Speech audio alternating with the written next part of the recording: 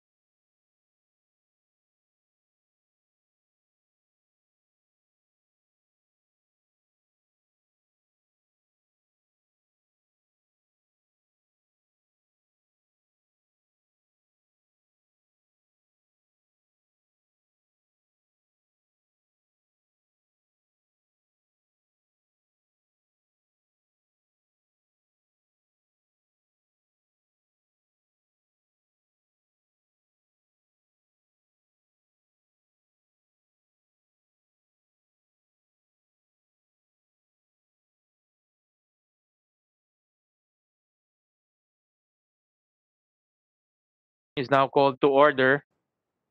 And um, before I call upon the committee secretary, let me recognize the presence of Senator Binay and Senator Cayetano. Um, let me uh, direct the committee secretary to acknowledge the resource persons for this afternoon. Good afternoon. May we acknowledge the virtual presence of Dr. Lisa B. Martinez from the Depart uh, from the Deaf Education Council, uh, Ms. Caroline B. Dagani, President Federation of the Deaf, DEC member. From the Department of Education, Dr. Jose Taginayo, Chief Bureau of Learning Delivery Student Inclusion Division, Ms. Annalyn Aquino, Ms. Nancy Pascual, uh, Ms. Erlinda Leyva. And from the Valenzuela SPED, DepEd, Dr. Maria Teresita Yu Pangan, District Supervisor, SPED Administrator. From the Department of Finance. Shermaine Odicta, Fiscal Policy and Planning Office. From the Department of Social Welfare and Development, Ms. Miramel Laksa, Division Chief of the Sectoral Program Unit. From ENET Philippines, Ms. Mercy Chan, Advocacy Officer. From the Deaf Blind Support Philippines, Mr. Edgardo Garcia. From the Early Childhood Care and Development Council, Dr. Teresita de Mesa, Education Consultant. Ms. Mika Denise Del Mundo, Planning Officer 3. From the League of Cities of the Philippines, Ms. Veronica Hitosis, Deputy Executive Director for Policy, Programs and Projects. Ms. Ann Janelle Rabe, Senior Policy Officer. And from the League of Provinces of the Philippines, Ms. Angelica Sanchez, Policy Director. From National Nutrition Council, Mr. Reginald Guillen, Nutrition Officer 4. From the National Parent Teachers and Association of the Philippines, Mr. Wilfredo Rodriguez, President.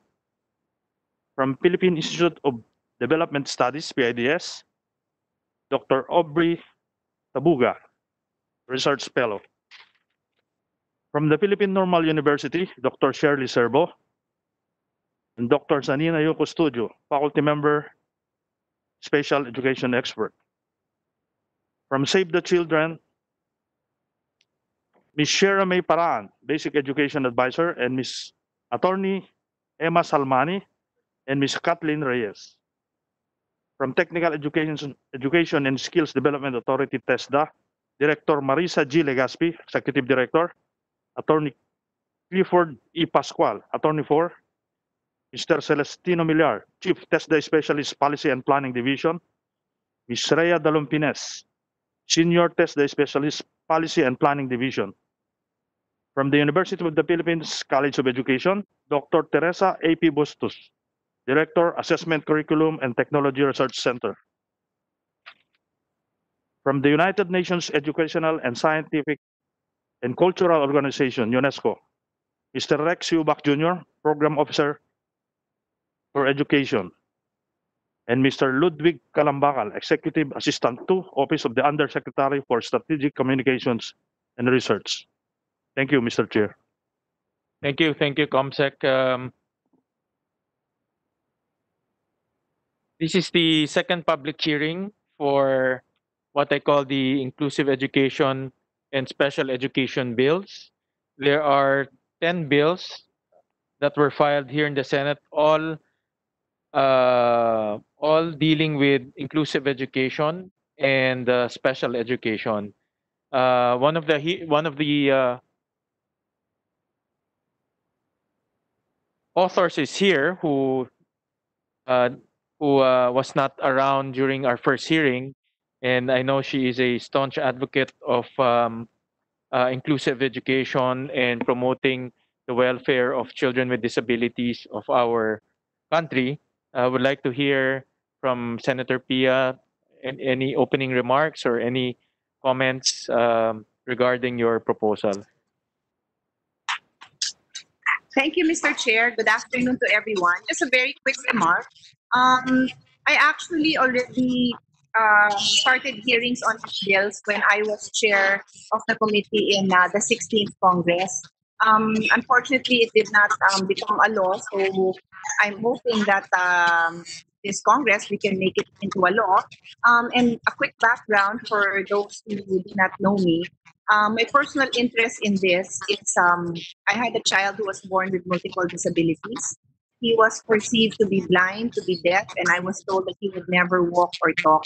So um, although he passed away before he turned one, um, I actually um, have a foundation in his memory and have been working very closely with a lot of associations, particularly those associations that uh, cater to children with not the ailment that my not the condition that my son had because my son had trisomy 13 which is very rare but the manifestations of that condition which is being blind uh, being deaf and other disabilities. So um, although i have no formal training in this area i'm very it's very close to my heart and i'm working all over.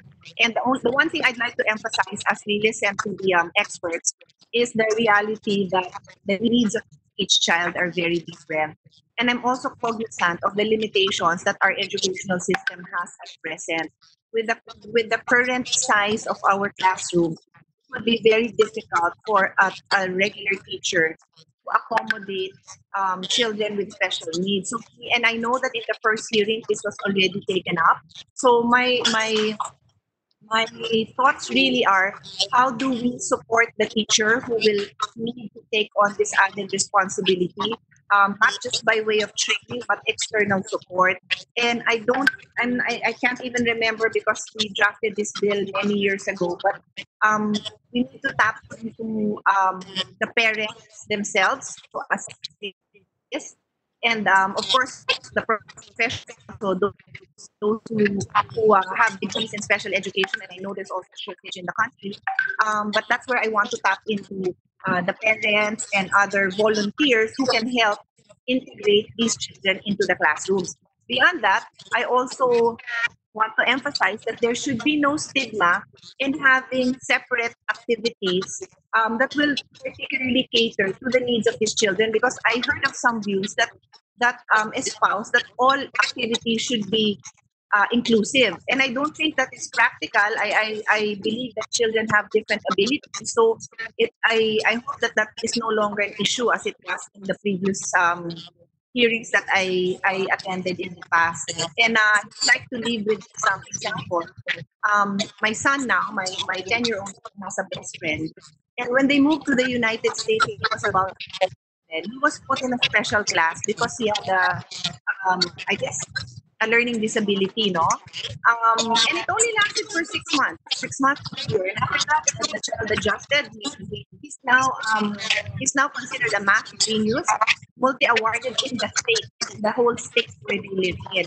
So I, I just want to address the stigma that just because of special classes doesn't mean that there's something wrong with you. It means that we want to address that.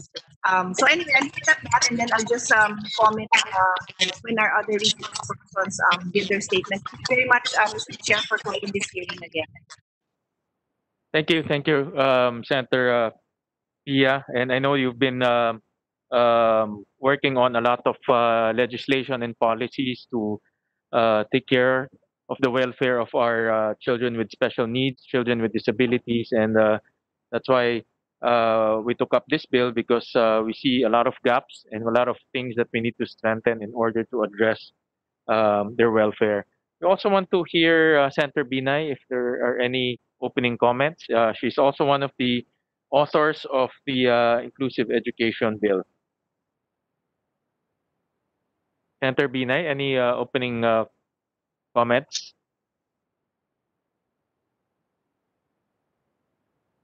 Senator Binay? Senator Binay?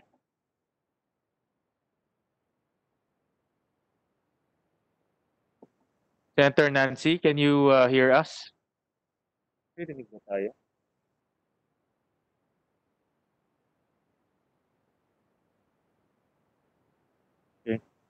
I think we're encountering some technical errors, but uh, we'll hear from Senator Binay uh, later on.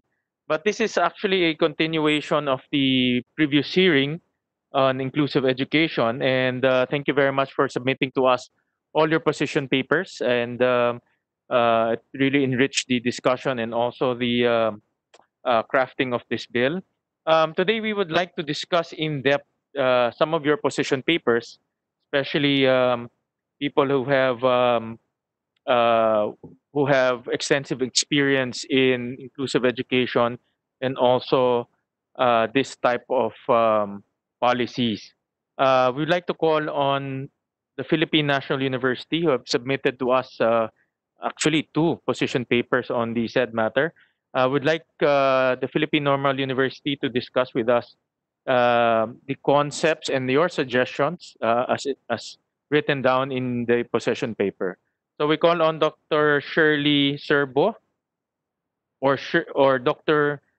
Janina Custodio to discuss the uh, position paper of uh, the PNU. Good afternoon. Good afternoon, Dr. Custodio. there are need for me to share the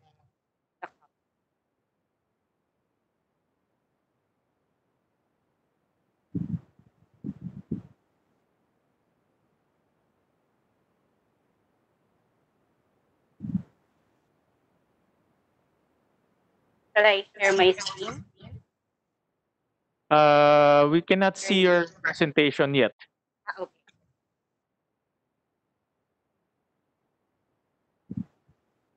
There, we can see it. Um, good afternoon, everyone. Good afternoon, Sir Chair. So the Philippine Normal University is the National Center for Education. Uh, we are committed to provide discrimination education, and we are aiming at delivering the best for preparation and development in the country. So we have um, undergraduate, and we also have graduate. Um, I hope that I'm being well.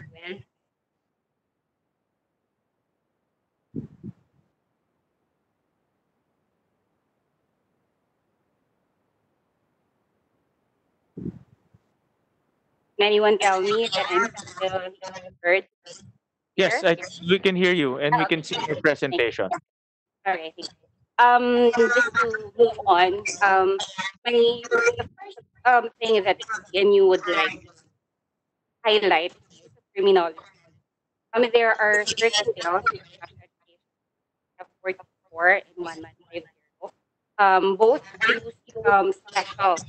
So in the university, suggest that you have the terms learners with gifted learners, students with additional needs, one.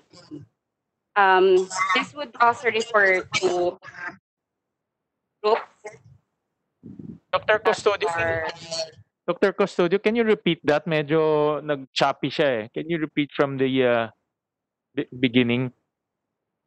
Okay, so for the Okay, so so for the start, I think uh, mas nadidinig na po ako. Yan, mas malinaw na. Thank you.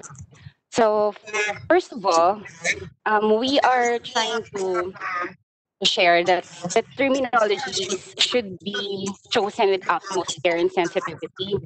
There are certain bills, um, such as 44 and 1150, um, that use the term special. In our country kasi, it has been a derogatory term, which implies abnormality. So there are certain groups of people with disabilities na niyayakap na din naman nila ang term na disability. So therefore, we, we should use the term disability as it is. Um, we don't have special rights. And we also believe that um, disability is categorized as a human condition. So therefore, it's a human right, it's a civil right, meron tayong disability right. Wala tayong tinatawag na special right. So we have to use the term disability. In other countries, um, ginagamit naman nila yung term na SWAN, students with additional needs naman. So pwede nating gawin it. Now, um, on the same note, we have the terminologies or the use of terminologies.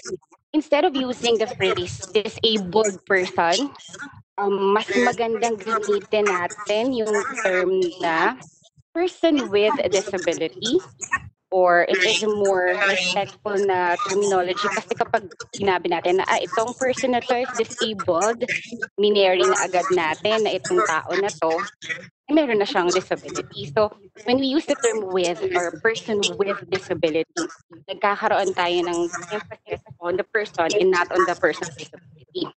So, um, meron dito sa Senate Bill 1150, it is now recommended that we use the phrases learners with intellectual disability instead of intellectually disabled, learners with orthopedic handicap instead of um, people na, uh, instead of handicapped people. So, Um, also in Senate Bill 434, Section 4, gumamit naman sila ng term na in, um, mental retardation. So the term is no longer used. Gamitin natin yung term na intellectual disability to refer to those people na mayroong intellectual disability.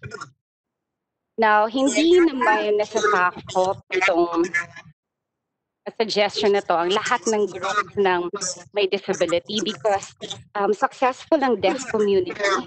They use the term um, deaf to refer to themselves.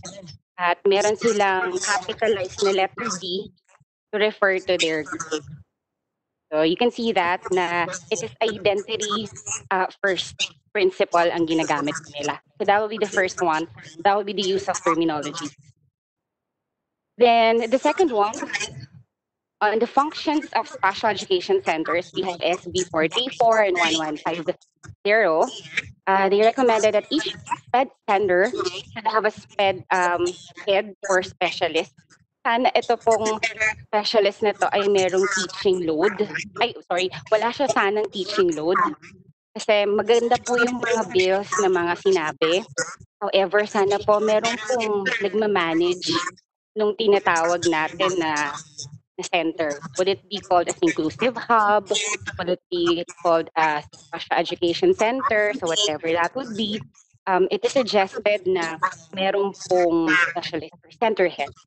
So ano pong trabaho niya? So assess the needs of those with disabilities and gifted learners, interpret tests that will help decide an appropriate placement of learners sa regular ba siya, yung ba siya sa special education center, provide teacher training and orientation programs to stakeholders, kasama po dyan ng parents, caregivers. Next is to develop and monitor special and inclusive education plans and programs. Uh, other countries, ito po ay tinatawag na IEP or Individualized Education Plan. Um, ito po ay ginagawa ng mga experts, um, for example, doctor or orthopedic na, na doctors or special education teachers or regular teachers wherein they tend to look at the goals tapos minit po nila yun ng isang taon. So it's something na, na kailangan po nilang um, Then, develop and monitor special and inclusive education plans and programs. Collaborate with parents or caregivers, gaya po na sinabi ni Madam Senator kanina na kailangan po nandun po ang parents at saka po ang caregivers. But we also have to include LGUs and other stakeholders. Um, aside from those functions, pwede din po ang TESDA, MATAP, for possible employments for graduates. I believe nakakuha po sila ng people with the deaf community. Meron po silang trabaho from TESDA. But um, hindi po nakukuha yung other groups of people na may disabilities. We are also suggesting that. Then conduct IEP meetings, keep records of students as well, and of course, write and submit an accomplishment report either to CHED or to DepEd. Yun po yung pangalawang function na, ah, yun po yung pangalawang suggestion. Now, for student assistance, nabanggit po ito sa Senate Bill 434 at saka sa 1150. Dadagdagan lang po sana ng additional recommendations which are um, sana meron pong resource speakers from pool of focal point persons.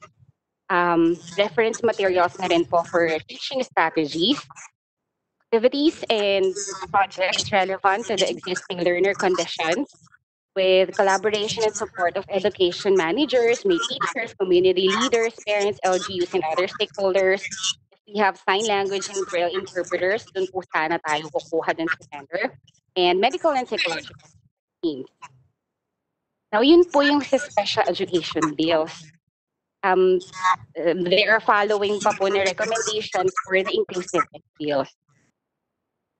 Una po sa lahat, um, ito po ata yung unang ah, sinabi ko sa first hearing, um, kailangan po natin ng matibay, strong na definition kung ano nga po ba ang inclusive education. Um, it is recommended that there should be a certain framework for the Philippines. But I, I understand meron po tayo sa DepEd na inclusive education na nakapaloob sa K-12. Pero it will be much better if we have a unified definition of what an inclusive education is na talagang nasa konteksto po ng, ng Pilipinas. Because others would argue na ang inclusive education po ay pang may disabilities lang po. Pero kapag sinabi po natin inclusive education, that will include students or people na at risk, those po na galing sa war, um, those with religious um, interests, at saka po yung mga IP. So, yung mga Senate bills po sana na nasa na may term po na inclusive education, it will be much better if i-define nila para saan po kaya yung bill na tina-target. And aside from the definition of inclusive education, kailangan din pong ma-define yung difference ng inclusive at special education. Then, the receiving groups of the bills should be made clear. Therefore, the term inclusive education, nag-include po ba siya ng those with disabilities? Yung po ba may gifted? Um, difficult circumstances, IPs, gifted and talented. Um, pero sa, sa university po, um, we are suggesting to include all days. Pero magbibigay po tayo ng emphasis to those with disabilities kasi ang needs po ng ibang groups na nabanggit ay mostly social and cultural. Then we have an allocation sana for resource centers wherein ang experts, uh, meron po tayong buildings and structures. If ever na gagawin po natin itong term na inclusive, meron po tayong mga ecumenical prayer room, interfaith and gender-sensitive comfort rooms, and other services should also be made. So para saan po yung allocation? Ito po ay para sa instructional assistive devices for people with disabilities, shadow teachers, sign language interpreters, and teacher aides. Uh, we have physical accommodation for learners with physical disabilities kasi iba po ang upuan ng um, people with physical disabilities. Halimbawa po, may cerebral palsy, um, kaliwete po, for example, na blind, so iba po ang kanyang desk.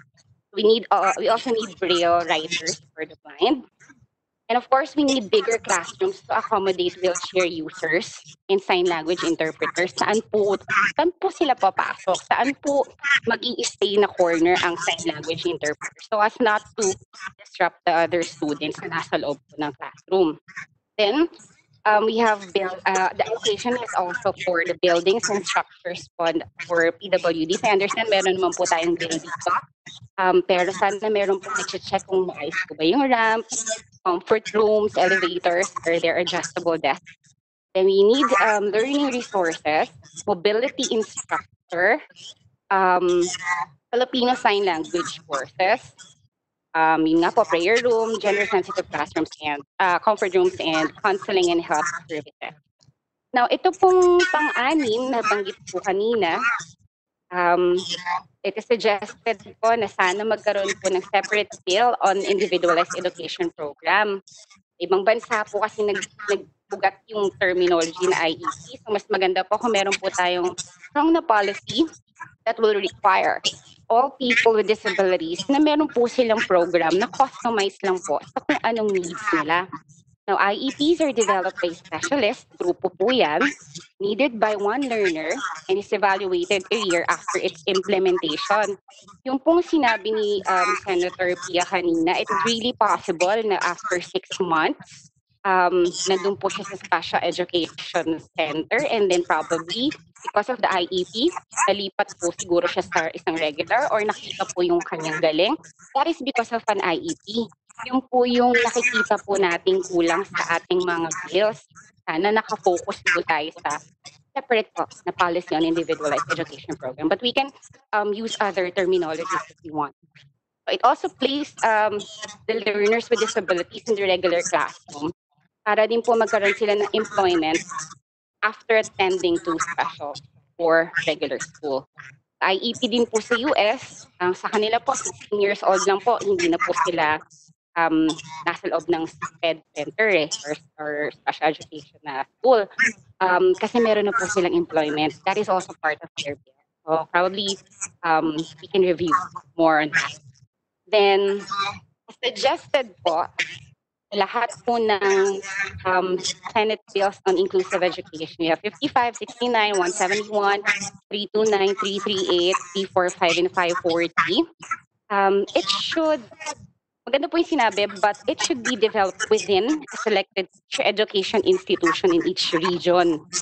So, meron po tayong hub, pero nasa loob po siya ng TI or teacher education institution. So, itong mga TI na to, marami po tayong um, normal schools sa buong Pilipinas. They will help develop policies and provide services to stakeholders of the schools and other institutions in their locality. Aside from those listed sa bills, idadagdag lang po that the resource, the resource center is recommended to have managers and specialists that will man the hub or the resource center. Meron po sanang provisions in developing inclusive um, instructional material. Meron po sanang help desk yung bigla pong magkaroon po ng problem, meron po silang matatakbuhan within their locality. And it will also serve as a venue for IEP meetings. Then, sa pong problema natin, of course, the diagnosis. Kung naalala po natin sa first hearing, um, meron po kasi tayong mga estudyante or may mga disability na nasa regular po sila kahit po sa SPED center. Na nandun po sila pero hindi naman po talaga alam kung ano po ang diagnosis nila. So therefore, saan nanggaling yung assessment? So if tatanungin po natin yung bilang ng tao na may disability sa Pilipinas, hindi po natin alam yon totally. It is because there are a lot of people na may disabilities, most especially learning disabilities, na nasa regular classes. Ito po ay isa sa mga problema natin sa country natin. So we should provide resources for diagnosis. Um, the diagnosis could serve as a basis for educational placement kasi kung alam mo yung kanyang condition, therefore, alam natin kung saan natin siya ilalagay, anong, anong klaseng environment yung kailangan niya. Then, it will be the first step in addressing the needs of learners with disabilities that will also pave way to the segregated data of PWDs in the country. Now, upon diagnosis, a, a strong policy on the development of educational plans or IEPs, of course, will follow. Kunti na lang po ito. Ang DOH po pwede po nating matap. For number nine, we need to collect disaggregated data to know ilan ba ang ating people na may disability. And then, um, focus po natin ang training. So, the university, Philippine Normal University, suggests na sana mag-provide po tayo ng free tuition in service teachers. Ibig sabihin, nagtatrabaho na po sila as uh, a teacher. However, pwede silang walang training on people with disabilities or handling people with disabilities. So, bakit hindi po tayo mag-provide ng free tuition to those teachers na gusto pong mag-aral pa in advance uh, for MA? I understand that there are um, several suggested training programs sa halos lahat po ng bills. Pero it is much better kung hindi lang po siya training program, kundi talagang kurso na po siya on how to handle cases in in the regular classroom or even in special So once we give this, this will attract teachers to update their knowledge in teaching specifically in inclusive education. Then uh, MA, there should be an allocated MA unit na ang pangalan po niya ay Special and Inclusive Education. Um, nakalagay po sa bills 55, 69, 171, 329, 338, 345, 540, and 804. Yung pong pedagogies in, um, inclusive education, kasama po dun yung Universal Design for Learning or tinatawag po natin UDL. Ngayon, maganda po na nabanggit po yan sa mga Senate bills. However, saan nangyayari yung training on UDL? So, sinasuggest po ng university na uh, magkaroon po sila ng unit on inclusive education. So, doon po mag-discuss yun. Hindi lang po siya training program, kundi MA units. Um, we of course have to designate one governing body in the education system ang trabaho po nito ay mag-marry ang ESDA, ang DepEd at CHED para po sa smooth na flow ng different na mga institutions. Halimbawa po, ang ESDA matatap for resource centers to provide training for uh, different learners. And for last two na po, increase um, natin na ang ang monetary na allowance for remuneration of teachers, both regular and special ed teachers. Sa pag-aaral po kasi, sabi po ni regular teachers, mas mataas po ang nakukuha ni ed teacher, pero naghahawak din po sila ng people with disability. So, hindi lang po money ang pinag-uusapan dito, pero sana we have to give them smaller class size. Meron po silang teacher aides, meron po silang shadow teachers, meron po silang interpreters to help them facilitate their instruction. So bigyan po natin sila ng, uh, ng assistance. And finally, um, sinabi po ito sa Senate Bill 69, um, yung tungkol sa child fine, maganda po ito, pero idagdag po natin yung barangay officials sana po makasama po sila sa proseso ng paghahanap ng mga people with disabilities at saka placement din po kung saan po. Maraming salamat. Thank you. Uh, thank you, Dr. Uh, Custodio. I have um, mer- meron akong ano no, meron akong uh, very fundamental question and this came out in a lot of the position papers na nakuha ko and also from the readings that I did, no, in in uh, readings from UNICEF, from other international institutions. When you say inclusive education, no, in simple terms, dapat lahat ng bata nag-aaral, uh, pinapaaral, regardless kung siya ay minority, siya ay children with disability, or siya ay gifted and talented. Tama po ba, uh, Dr. Custodio? Um, yes po, tama po kayo, sir. Additionally po, ang, ang UNESCO po, um, tinatawag po nila ang inclusive education as removal ng barriers para sa tatlong bagay. Kailangan po uh, walang barrier sa participation, sa presence, at saka sa achievement. Sa Philippines po, okay po tayo sa presence eh. Nandun po sila sa regular, nandun po sila sa special education. Um, okay din po tayo sa participation pero hindi po masyado. Um, meron po kasi isa po sa mga pag-aaral, um, nandun lang po yung estudyante na meron pong learning disability sa isang public school po sa NCR. Um, pero hinahayaan po siyang umopya ng teacher niya katabi niya.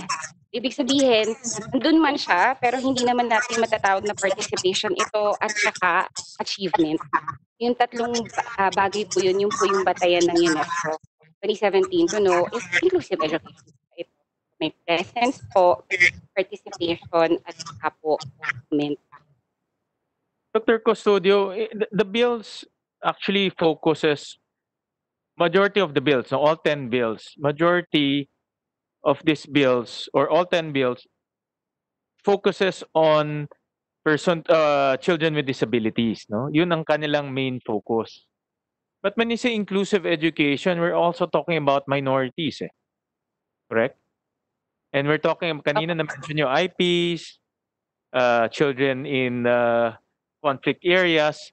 So uh, do you suggest that to make the bills holistic and encompassing do we include children minor children in minority groups children in conflict areas meaning do we legislate the policy of inclusive education Opo, para sa akin po pagkakataon na po ito eh na matawag natin na yung Philippines is uh, truly inclusive.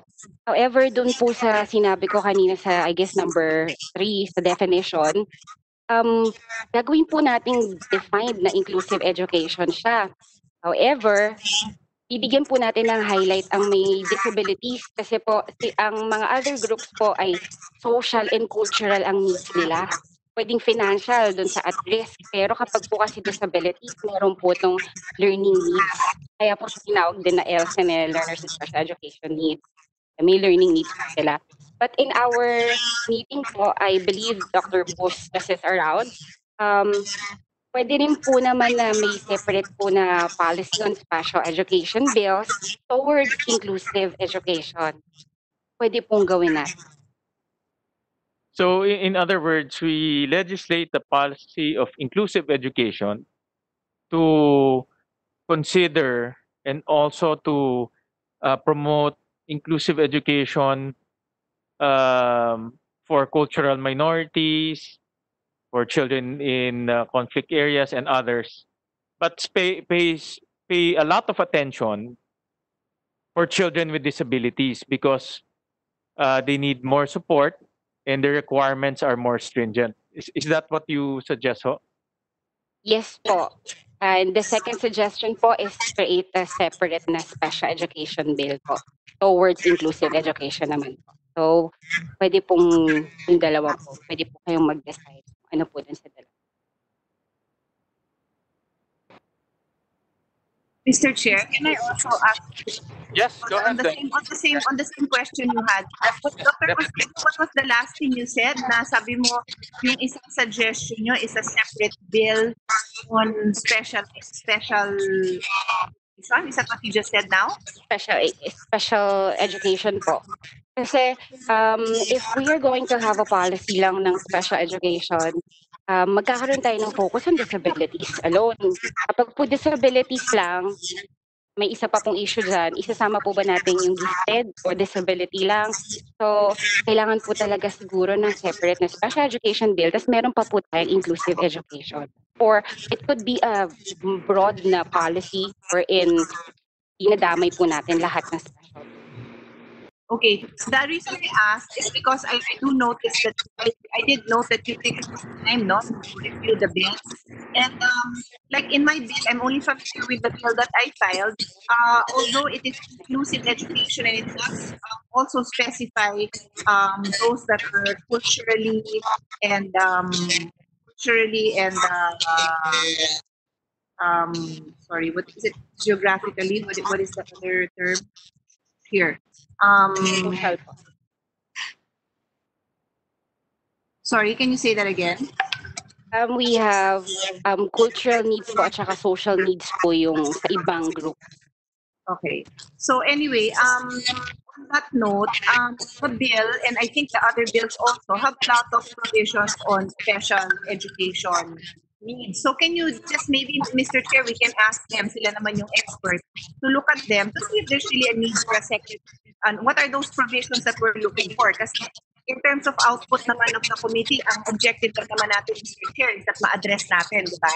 Whether it's one bill or separate bill, I think as long as ma-address natin yon, that, that's our objective. So if, if the inclusive bills do not, bills on uh, inclusive education do not cover it, then either if they are just few provisions, like I said, my bill has provisions already and the others also, um, there's no need for a separate one. I understand your point totally na it's a since yung special ed kasi has special needs to be addressed, that's why may special provision sila.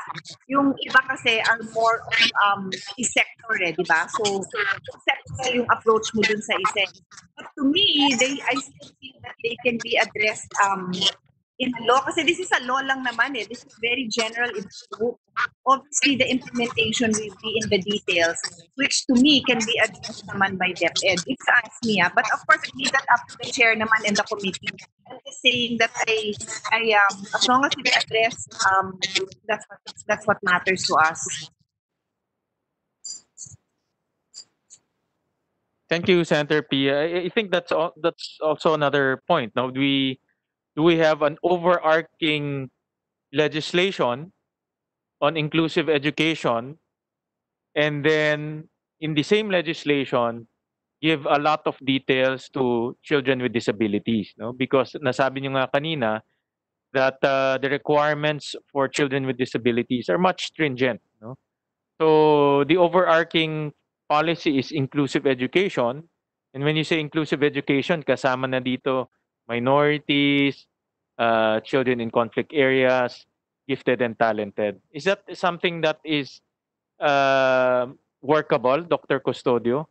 Kasi since we're since we're talking about this law, um, I think it's much more efficient to have one law, one overarching law with a, a with a lot of focus on children with disabilities.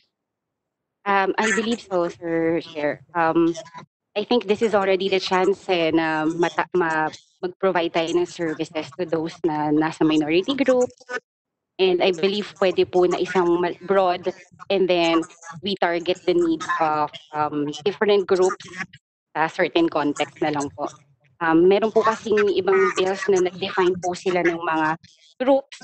However, pagkadating po dun sa mga services offered, mukhang pang disability lang siya.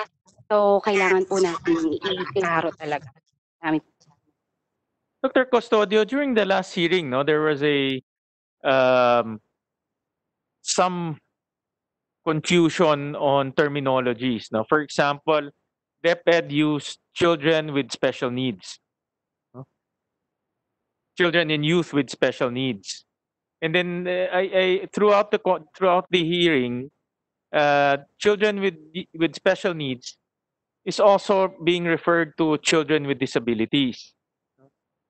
But uh, I read also some literature that children with special needs may also refer to minorities. No, uh, will may also refer to let's say um, uh, children with um, uh, religious sensitivities. No, so from your from your expert opinion, what is the uh, to, not to to create more confusion in the bill? No, how do we clear up what type of uh, the terminology is being used?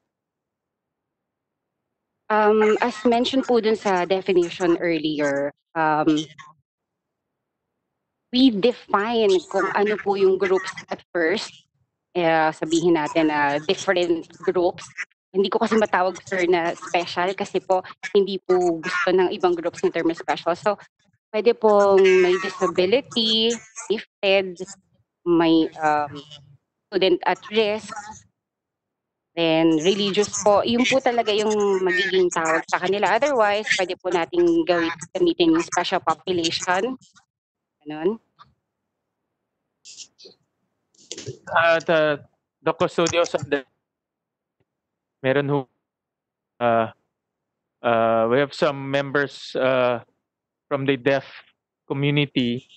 Um, although they just confirmed kasi just a few hours ago, will will uh, uh, ayusin ko lang ho yung ano no, ayusin ko lang yung uh, uh, si- situation.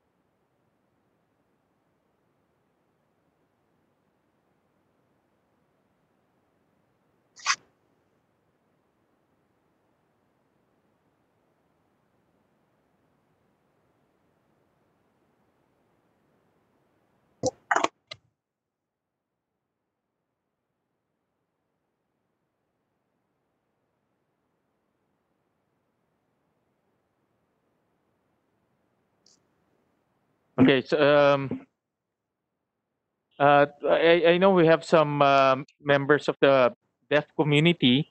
Uh, we will be typing the conversation uh, so that you can look at the chat group.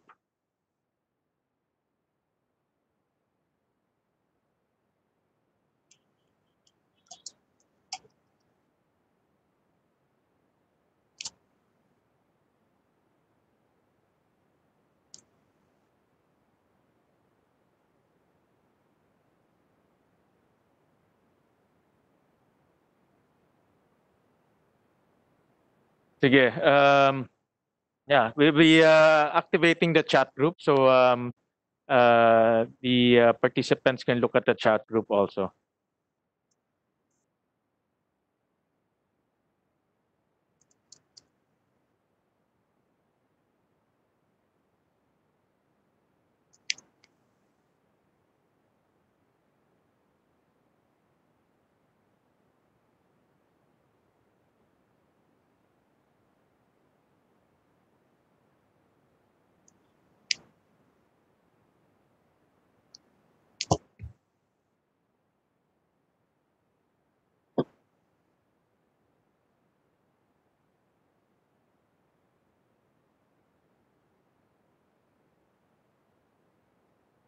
So Dr. Custodio, can you repeat again yung question ko kanina is terminology? Um, DepEd refers it to children with special needs. And then um, the bills talk about children with disability. So I, I know there there's uh, nuances in this. Can, anong, can you discuss the differences and what terminology we should use? Ah, um, with that, pwede po tayong gumamit ng broad na term which is SWAN. SWAN refers to students with additional needs. Pwede pong ganon. And which, tsaka po natin i-break kung sino-sino po yung mga nasa group.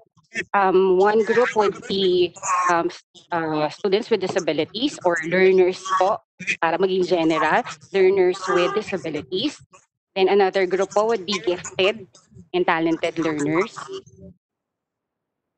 Uh, another group would be those with religious na, na affiliations, uh, uh, religious uh, affiliations, and then we have IPS.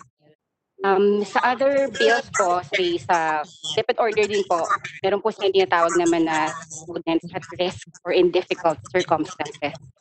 For example, yung pong nasa Marawi, example, yung pong um, nasa mababa po na socioeconomic status.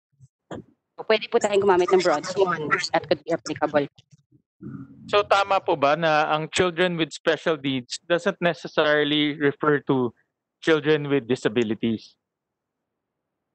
It's a much broader term. Um, there are terminologies po na mas ginagamit po yan sa may disabilities po talaga. Additional din po ang talented and learners. Kung tatanungin naman po yung minority, sila po yung hindi masyadong nababanggit dun sa term na, na special education needs or LSEN. Ganun po. But however, ano po kasi talaga meron po tayong confusion talaga sa sa definitions. Meron pong mga certain references na nagbabanggit naman po na lahat po ng mga taong nabanggit ay kasama po dito. Kaya ang suggestion po ay sa policy, i-breakdown na lang po siguro natin yung definitions and then we provide services dun po sa bawat groups na yun.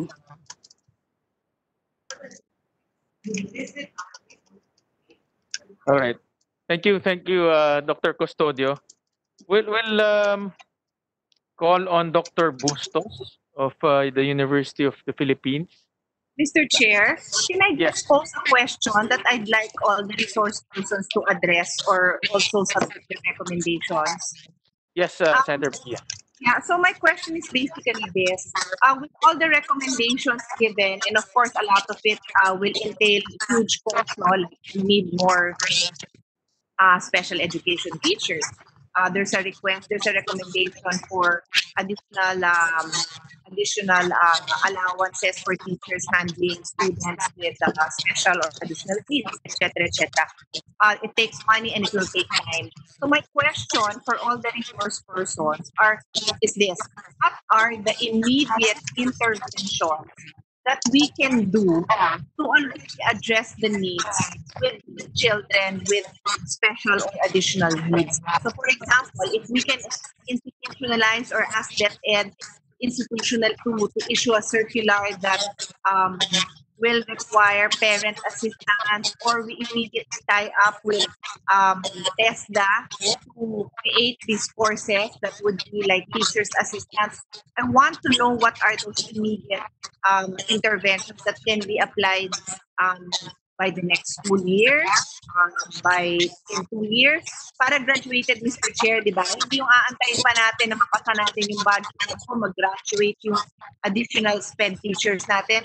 Parang every year, we are moving forward naman to giving these kids the education that they deserve. I want I want sana ma-include yan sa lahat ng ano at yung mga nagsalita dati, baka pwede na idagdag, di ba? Para maano natin agad, ma-implement na natin. Thank you.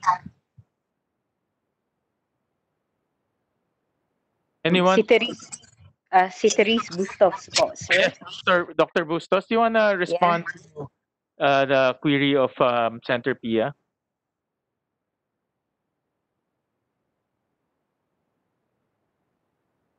Uh, Dr. Therese, I cannot, we cannot hear you.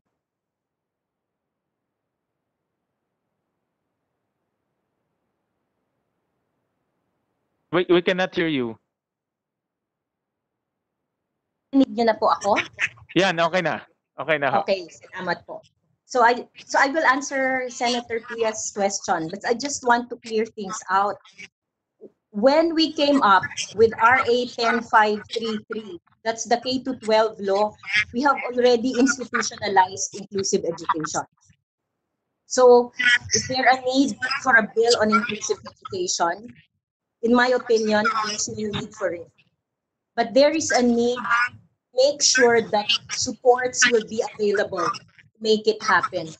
And that is what needs to be done. So um, UP stance on this issue is that it has to be a bill focusing on disability.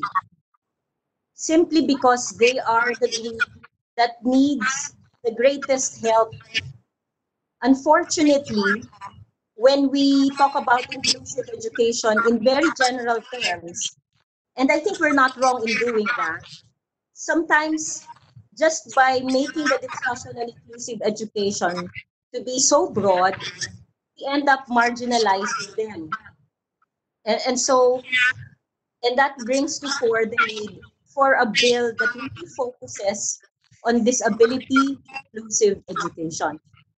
But that doesn't mean that we will separate children with disabilities from those without disabilities.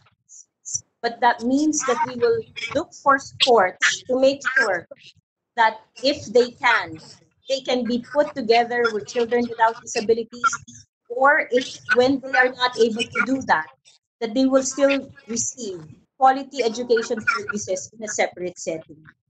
So to answer Senator Pia's question, is there something that we can do? The beautiful thing, and I'm sorry to, to use the word beautiful, the pandemic has forced the IEP issue, uh, it has brought it to the fore. Because since children will be learning from remote, the individualized education plan becomes a very important document because that will tell people how to go about educating the child at home. In the past, schools, though I know DepEd has been trying to enforce this, schools did not take that up seriously.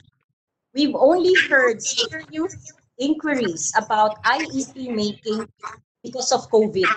And for that, I'm quite thankful. What else can we do? The teacher assistant, having teacher assistant assistant positions, teacher aid positions within the plantilla of DepEd will definitely help. Because right now, as far as I know, there is none. And in successful districts, in successful cities, where there are teacher aides, teacher assistants, deaf teacher assistants, they were all supported not through central office funds or national funds, but they were supported by local government units. And so that is something that we can take a look at. Another issue is class size. For now, because of the remoteness, maybe it's not an issue. But when we go back to face-to-face classes, we need to take into consideration class size.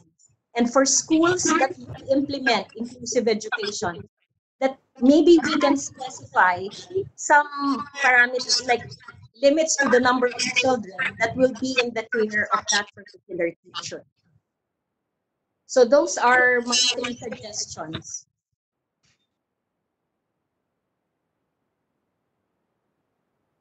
Mr. Chair, Yeah, yes, Senator Pia. Just a very quick intervention.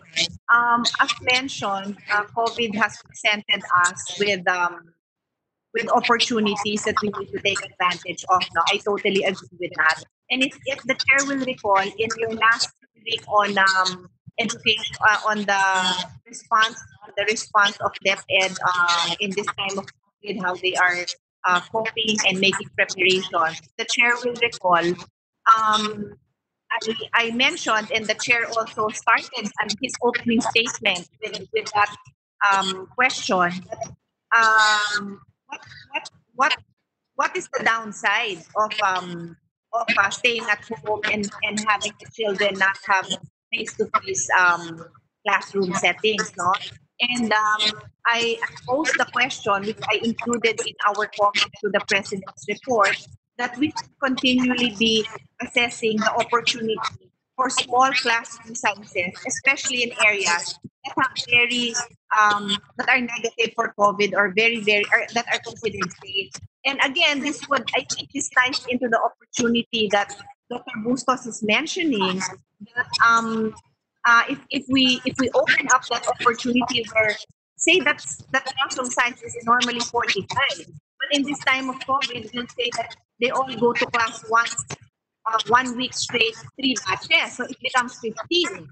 So in other words, we need to take advantage of this bad situation, which is COVID, in way try out that small classroom size. No? So instead of it be, being completely uh, learning from home, they'll have this one week and only 15 students to a teacher. So anyway, I know that was a separate hearing, but I'm tying it in because we need to learn from this time of COVID. No other opportunity for, for student classrooms that have 30 to 45 students to experiment with 15. Nobody in their right mind will allow us to do that. Say na, one week mo lang papasukin yung mga anak mo, hindi sila papayag. But in this time of COVID, now's that opportunity, Mr. Chair. So DepEd is here, the experts are here. I just want them to weigh in on those um, scenarios because we have no other time do that. We are not going to build new classrooms overnight. We will have a population boom because of COVID. So the more magiging siksikan yung classrooms natin, we have less funding for, for building. So it's not going to happen on its own. We need to create that scenario, Mr. Chair. Yun lang po. Dr. Bustos, any any comment po? I agree. I agree that this is a good time to fix things in special education, in inclusive education. Because I think for the first time, we're looking at individualized education. Instead, because in the past, uh, it was like a cookie cutter thing. Everybody, one size fits all. And so now, we know that that's not going to work. And I, I think now is the best time to be talking about individualization. Dr. Bustos, I, you mentioned IEP, no? And uh, in our discussion uh, during the first hearing, it came out that IEP is such an important document. And I believe one of the resource persons even mentioned that, that in the States, it's a legal document. No? As to the extent of the legality, um, we- we have yet to discuss that. But uh, do you suggest to put a lot of emphasis in I in the IEP in the law? And what do you want to see in the law uh, uh, when it comes to the IEP? Okay. So the IEP is a legal document, but it is a legal document that opens up doors for the child with disability. It opens up funding. It is the document that justifies government spending for the needs of that child. And so if we can formulate an IEP that is not just a guide for someone's education, but really a document that justifies why government should spend for the child. It's a document that identifies the needs of that child. For example, uh, like for the deaf among us here in this meeting, they must have needed an interpreter while they were growing up. And having that specified within that legal document would justify spending or having a budget to support that particular need. Other children will need therapy services, and that's specified also in the IEP. That also should be funded. And I think that's the major concern that most uh, persons with disabilities would have. Because while, you know, I know DepEd does its best to try to reach children with disabilities, we admit that there are still limitations. And there are no funds to support those um, auxiliary services. And so I think having an IEP as a legal document, which now is the key to make sure that government supports children now because of that document, uh, would be a, I think that would be a very good feature of whatever bill it is you will um, write.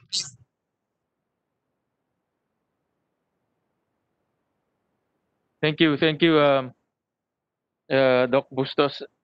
And um, we also discussed about uh, during last time hearing, no, the um, our teachers, no, because our our goal in, in in in most of the bill, no, the goal is to mainstream at one point, no. So the concept here, I'll put it in very simple terms, no, the intervention in the learning resource centers, but we also have, but the goal is to mainstream, no?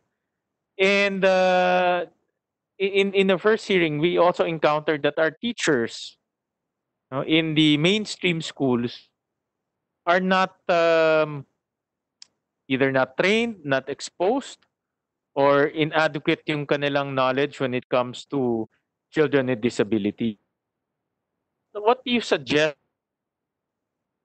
in order to improve on that in the short term and also improve on that in the long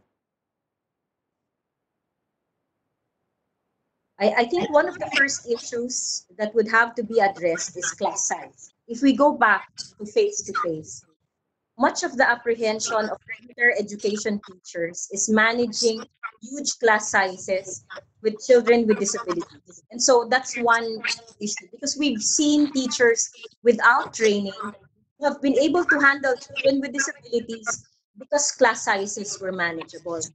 So you have to take care of class size. DEPED is trying to take care of the in-service training. On the CHED side, we've been trying to take care of pre-service training, training teachers to prepare for inclusive setup. Um, also, in the last meeting, we were saying that maybe we should incentivize um, having inclusive classes. Not only do we take care of class size, but we incentivize teachers um, just to enable them to make uh, how's this? Because I know teachers are not really naman motivated with all those benefits but those benefits are our way also of recognizing the effort that goes into education of diverse learners. And so if we can take care of class size if we can train them and if we can incentivize having inclusive classrooms then that might solve the problem Thank you, thank you, uh, Doc. Um, well, over the years, no, I, I've seen the the class to student to classroom ratio has gone down tremendously, and uh, it's improving um, over the past few years. Except in urban centers, some urban centers still experience um, uh, high capacity uh, class sizes. But um, I, I think by by by by natural occurrence, we're looking at smaller class sizes, and I think that can now be a conducive environment to um, mainstream uh, more uh, children with disabilities without exerting pressure on the teachers. Because I acknowledge, and I also heard from the first hearing that our teachers are, are the pressures on them, no, because they have bigger class size, and then you have also um, children with disabilities that they need to pay special attention to. That's why the the concept of uh, um, teaching or or co-teachers. Uh, I think you also Bustos. Can you expound on that? And is that something that we should put in the law as a incentive to teachers? I think first, if there can be positions made to have teacher assistants in the classroom, that would be great. If we can incentivize, if we can have provisions within the bill that will incentivize um, having inclusive classes, that would be an added value yan. And I think that would be welcome also, be welcomed by teachers who are practicing. Thank you, thank you, Dr. Bustos, and uh, thank you for um, giving us your thoughts and your position paper. And uh, we- we'll we'll come back to you in a in a little bit. I I still want to uh, pick your uh, experience and knowledge on the subject matter. Uh, but we also want to hear uh, UNESCO, uh, who's here with us, represented by Mr. Rex Ubak and Ludwig Kalambakal. Anyone from UNESCO who wants to um, give us their thoughts?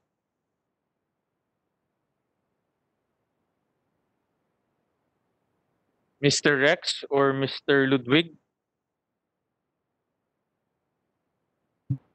Are you there? And, andiyan ko kayo?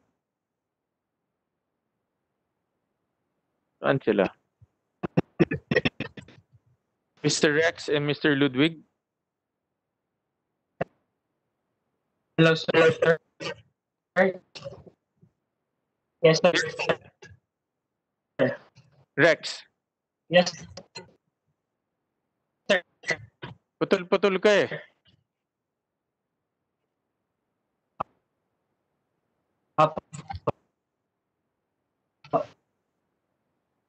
Uh, you're coming in very choppy.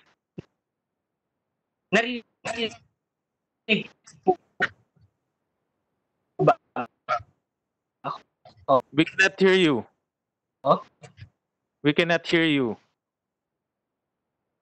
Pakiayos, Narinig po. pakiayos muna yung connection mo and then we'll get back to you.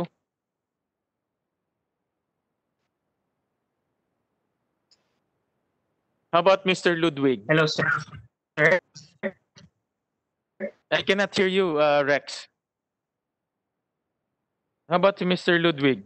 yes, Yan. Can you hear us? narinig po. Ba?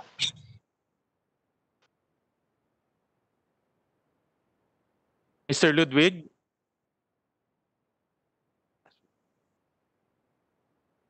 We'll we'll get back to you na lang. Pakiayos po yung uh, inyong connection.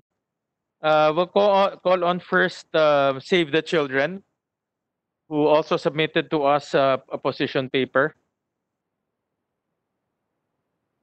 Miss Shera May Paraan and Attorney Emma Salmani.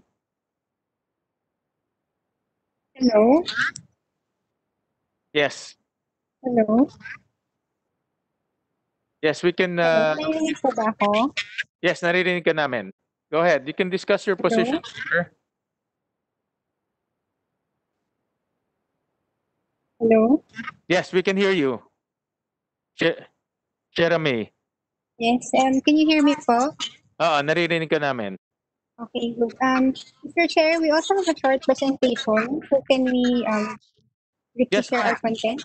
Okay. Yes, go ahead. Let me just pull it up. Okay. Let's try to see it now.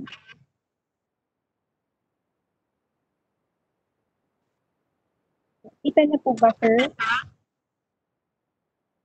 Yes, kita na. Okay, sige po. Sa, ah, so on behalf of Save the Children CDP, ah, una po sa lahat, thank you po sa invitation na ito. We're happy to see uh, specific bill for learners with disabilities being moved forward, especially during this time. uh, it's very urgent and also very important for children with disabilities. So, uh, to share our stand po, allow me first to jump to the results of this rapid survey that the Children Philippines did with Council Gates for the Welfare of Children. So kami po ay bilang child rights organization, bahagi po kami ng subcommittee on children with disabilities sa Council for the Welfare of Children. Ayan po. So, nilipat ko muna yung slide doon. Ang uh, survey, hello? request na ano, parang may naka-open na ano, na may feedback. Baka may naka-open bakang ano, Ah, ah, paki, we'll, we'll mute uh, dito sa control. Pa, paki-mute na. Ah. Hello? And, uh, to everyone, please mute your microphones. Ayan, okay na po ba? Meron pa din po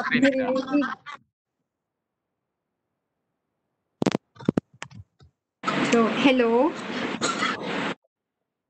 I'm trying without earphones po.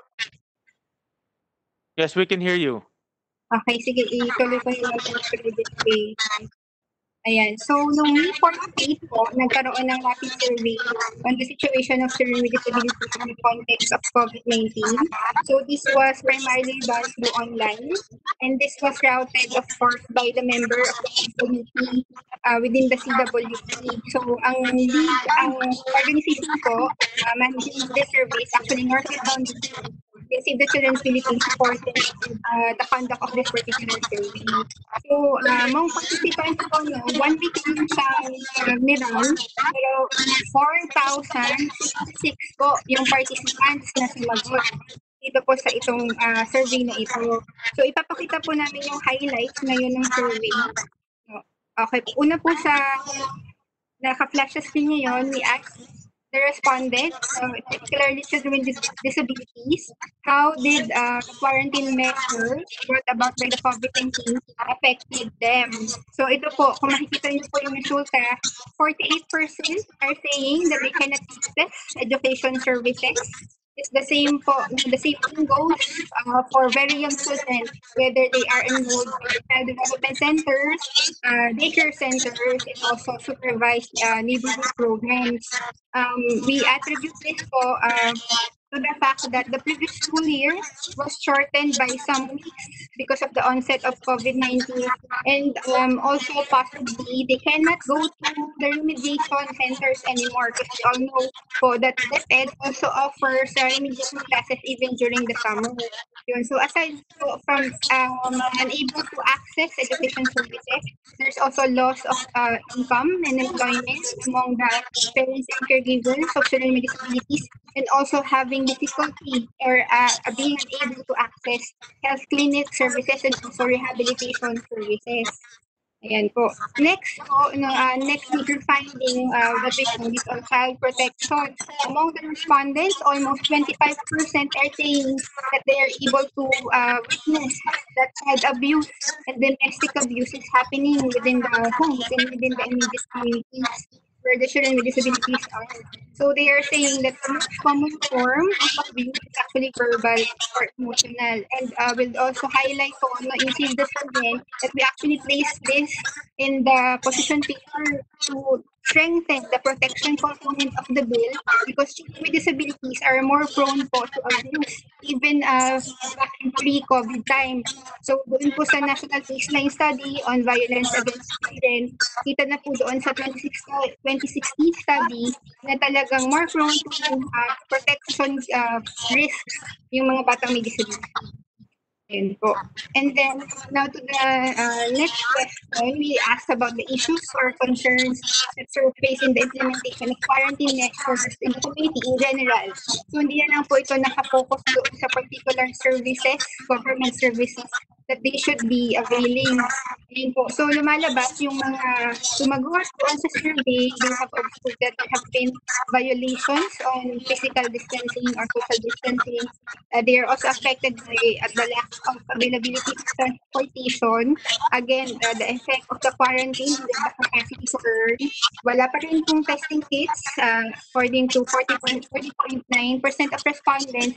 And then lumabas na po doon yung um, uh, lack of access uh, of the parents to the education of learners with disabilities, and also disruption po in other basic social services. Yan. And then, uh, when asked about what we'd like to uh, learn more about, so pinakamataas po dun yung specific protective measures for people with disability in general, no, not just children with disability, of course. And then second, uh, they want to learn more about the assistance provided by the government to persons and children with disabilities, and also the general protective measures for the general population. So yun po yung top three uh, that the respondents would like to know more about. Okay, so in a nutshell, if I will just summarize what I said, no, basically po, quarantine measures have exacerbated um, as part of the impact of COVID-19 on the current disadvantage that children with disabilities are already facing. They're having trouble accessing um, education services in different forms. Second, um, there are also an increase of protection risks as evidenced by the almost 25% po of respondents saying that they're witnessing both child abuse and uh, domestic abuse. And lastly, uh, the respondents also would like to learn more about um, what are the programs and plans of the government for them at different levels. Ayun po. So, um, yun po siya. Po namin ito if you'd like to highlight mo after the previous speakers have mentioned, it is an urgent legislation, very timely at the moment, and the current pandemic um, is even uh, causing more disadvantaged groups such as children with disabilities even more, um, even more, ba, behind in terms of their learning Ayun po. So, if you ask about the stand of the Children, um, it will go back to uh, first, uh, what group of children is already disadvantaged at the moment? How do we address this? We uh, second, um, Ma'am explanation earlier, focusing uh, the bill on the life of children with disability. No, second, ano po, um, we also value the voice of children and youth with disabilities. We would also like to highlight the fact that hopefully our lawmakers insert uh, provisions allowing for increased children's participation when it comes to matters that affect them, such as this one. And then, uh, pakita ko po sa inyo, And then, of course, uh, we also value support for teachers, no? As a specific recommendation of children with disabilities themselves, they're saying that they understand that it's very difficult to teach them or teach their peers as well. So they're even mentioning moral support for teachers. Ayan po. And then, uh, through peace and mobility, kagaya po yung nabanggit ko na sa dating meeting, uh, for instance, yung mga bata na deaf or hard of hearing, accidentally natatamaan nila yung mga nila. Hindi, hindi nila sinasadya dahil sa limited space.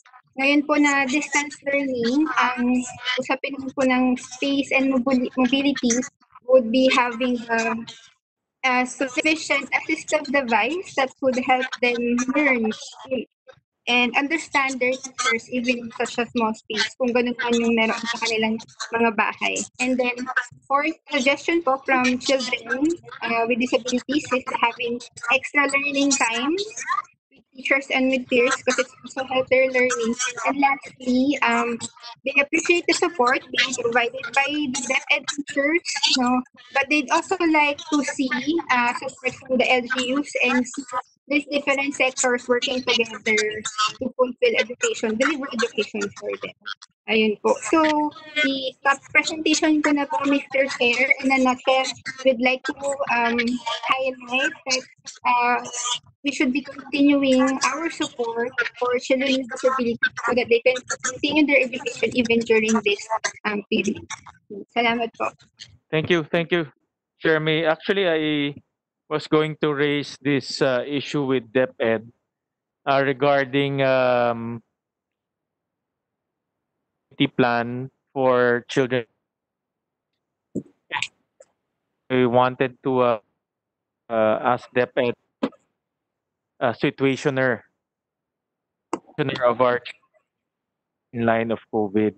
But I'll ask them later on. I, what I want to ask uh, Save the Children is what you. It's it's. Thank you very much for bringing this up. Um, not only it's timely, but it's also important to um, bring this to the fore. Uh, what do you suggest that we should include uh, in light of the definitely challenging, no? Implement education uh, in the light of the pandemic. More so to implement education to children with disabilities. They require other facilities and other expertise. So sa ganitong nangyari, no, I, I conducted the survey na malaki, ah, 46,000. Um, what do you suggest we should include in the bill? Um, education becomes more inclusive, uh, even in uh, the pandemic. Okay. Yeah. Yes, Mr. Chair. Opo. Uh, with us, let's commend DepEd. We have the basic education learning continuity plan already, and we know there's an annex to be um hopefully soon. It focuses on the needs of children with disabilities. So, um, part of uh, the civil society organization, we'd like to know more about that. So, we can also support the operationalization of the LCP in particular. When it comes to the concrete measures, uh, provisions that we can include in the bill, perhaps we can look into maximizing para teachers, um, community volunteers, community facilitators to bridge the gap between schools and homes, especially during this period po, no, when children were largely expected to learn in the home settings. I'm not um, that familiar with the budget that the Department of Education currently have at the moment or whether there is um, a, a- an allocation that can be uh, given to community volunteers. But hopefully, we this time that we really saw what does an integrated multi-sectional approach look like, or what does um, um, different government agencies at the national and local community level would look like, and that would mean um, but look barangay or even LGUs at the higher levels closely working together with at the principal levels as well. So we can really operationalize a plan that is fit for the condition of a particular community and particular schools. So, um, yun po yung isa na provision that we're um, pushing for specifically for different government agencies and stakeholders to actually work together and operationalize We'd to flag to the low schools to um, give appropriate budget as well because as you all know here, even in the previous meetings po, uh, children with disabilities need assistive devices as well for them to be able to communicate with their teachers, even with their parents and uh, peers as well. Para makasabay pa rin sila dun sa mga lessons na uh, bi- ibibigay this coming school year. Ayun. So, um, those are the two major things that we recommend at the moment. And as uh, Civil Philippines is also part of a larger education uh, network, uh, it's like ENET Philippines, also supporting the advocacies that they would put forward. Um, May, um, I can see uh, UNESCO is already online. Uh, Rex? Rex of UNESCO? Yes, sir. Apo. Ayan, mas malinaw ka na. Sige. Yes, sir. Narinig na po ba ako, sir? Yes, yes. Go ahead. Opo, sir. Narinig na po. Sir, Sir, ah, napakaganda po ng mga naibanggit ni Dr. Bustos ano at ng ating kasama mula sa Philippine Normal University. Ngunit po ano, ah, naibanggit ko kanina yung mga factors na kailangan po to ensure inclusive education based po sa konteksto at pamantayan na inirekomenda ng UNESCO. Number one po ano is no barriers, complete participation present. Doon po sa no barriers po ano ang kagawaran po ng edukasyon ay napakaraming programa na pong naipapatupad upang matugunan itong suliranin sa no barriers issues. Ngunit participation, when we have consultation among National Commission in the Asia Pacific, there were two school of thoughts that uh, came to surface. Number one, gagawin niyo po ba ang inyong inclusive education para doon sa may mga uh, estudyanteng may special needs as a separate uh, as a separate program or kasabay sila doon sa mga normal students natin. Now, uh, of course, doon kung isa-separate ang classroom natin, ano, for example, para sa mga taong sinasabi po natin na naibanggit po natin, sir, na with special needs, yun po ay tinatawag nating context-based or needs-based education. Uh, sa- una pong ano, sa una pong naibanggit ko ano, kung isa-separate po natin, yan po ay ka- magka, ah, would require trainings for our teachers to have competency and skills to teach both students with disability and those students with no disabilities. Pangalawa po ano, doon po sa pangalawang ah, option na ibinanggit ano, na kung isa-separate po, yun po naman sir ay magkakaroon naman ang magkakaroon naman po tayo ng problema that these students under the special education would be further disenfranchised dahil nga po ang iniiwasan po natin ano yung konteksto po ng inclusive education is for them not to be further marginalized. Yun po sir, ano. Ngayon po sir, ito pong Global Education Monitoring Report po sir na inilabas noong June 23 ng UNESCO po. Yun po ay uh, calls on the member states to have a clear policy definition of what is inclusive education. Kaya nga po na uh, we uh, kami po ay uh, nag-agree po doon sa kasamahan natin sa Philippine Normal University to have a more policy defined, uh, a clear policy definition of what inclusive education is so that mas matugunan natin sir ano po ba ang ating ibig sabihin ng inclusive education? Ito po ba ay tumutukoy lamang doon sa mga uh, persons with disabilities or doon doon sa mga taong nasa marginalized sector ng ating uh, komunidad tulad ng indigenous people, yung pong nasa loob ng pihitan o kulungan. So yun po sir ay isa sa mga bagay na dapat nating tukuyin para po mas magkaroon tayo ng mas klarong definition ng inclusive education. Salamat po. But from from uh, uh, UNESCO literature, no? Edit. Uh, but from your standpoint, Mr. Rex, ano ang Yes, sir. recommendation mo? Anong recommendation ng uh, UNESCO to us, no? Uh, um, with the with this bill, no? Uh, how suggest Oh. the definition Ang and the objective? Yeah, that is sir ano. Yan po ang pangunahing uh, recommendation sir ng UNESCO. Ano base po ito sa Global Education Monitoring Report is to have a clear policy definition of what inclusive education is. Dahil po kung mas magsisimula po tayo sa mas klarong definition kung ano ang tinatawag nating inclusive education. Atin na pong ma-enumerate kung ano-ano o sino-sino yung mga dapat nakakasama doon sa inclusive education. And that is very significant because that would uh, give us an idea of how much funding do we really have to give para doon sa mga education sectors that provide support or educational support for inclusive education.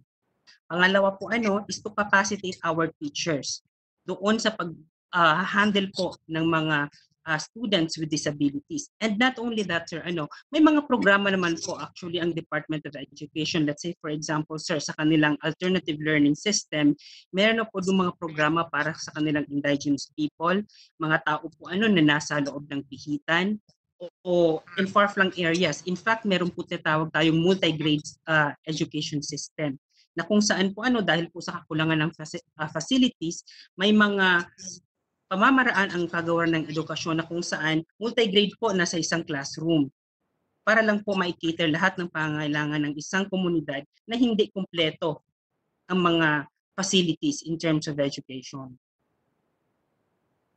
What is UNESCO's definition of inclusive education? Sir? What is UNESCO's definition, policy definition education?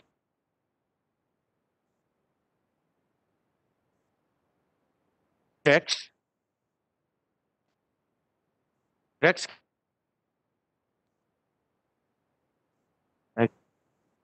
Rex, can you hear me? Yeah, well, we'll, we'll go to, uh, we'll go back uh, later on.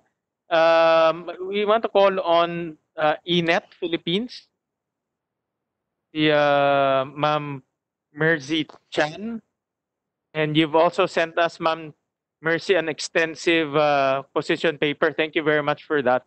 Um, I, I want you to discuss your position paper so that we can uh, have a, a, a good engagement on the contents of your recommendation. Um, yes, um, good afternoon. Um, can you hear me well? Yes, yes, you're coming in very loud and clear.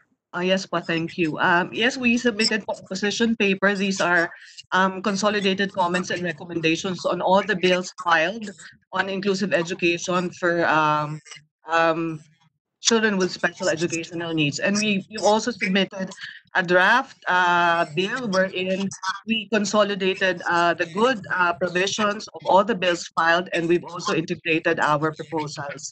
Um, let me share with you po um, um, short, brief PowerPoint on our um, uh, position. Head, Ma'am uh, Mercy. Malinaw po. Um, can you see it now- po? Ah, lumalabas na siya. Ayan, we can see it already. Okay, thank you po. Um, siguro po, simulan ko lang ano, sa pagbibigay ng ilang ah, data kaugnay ng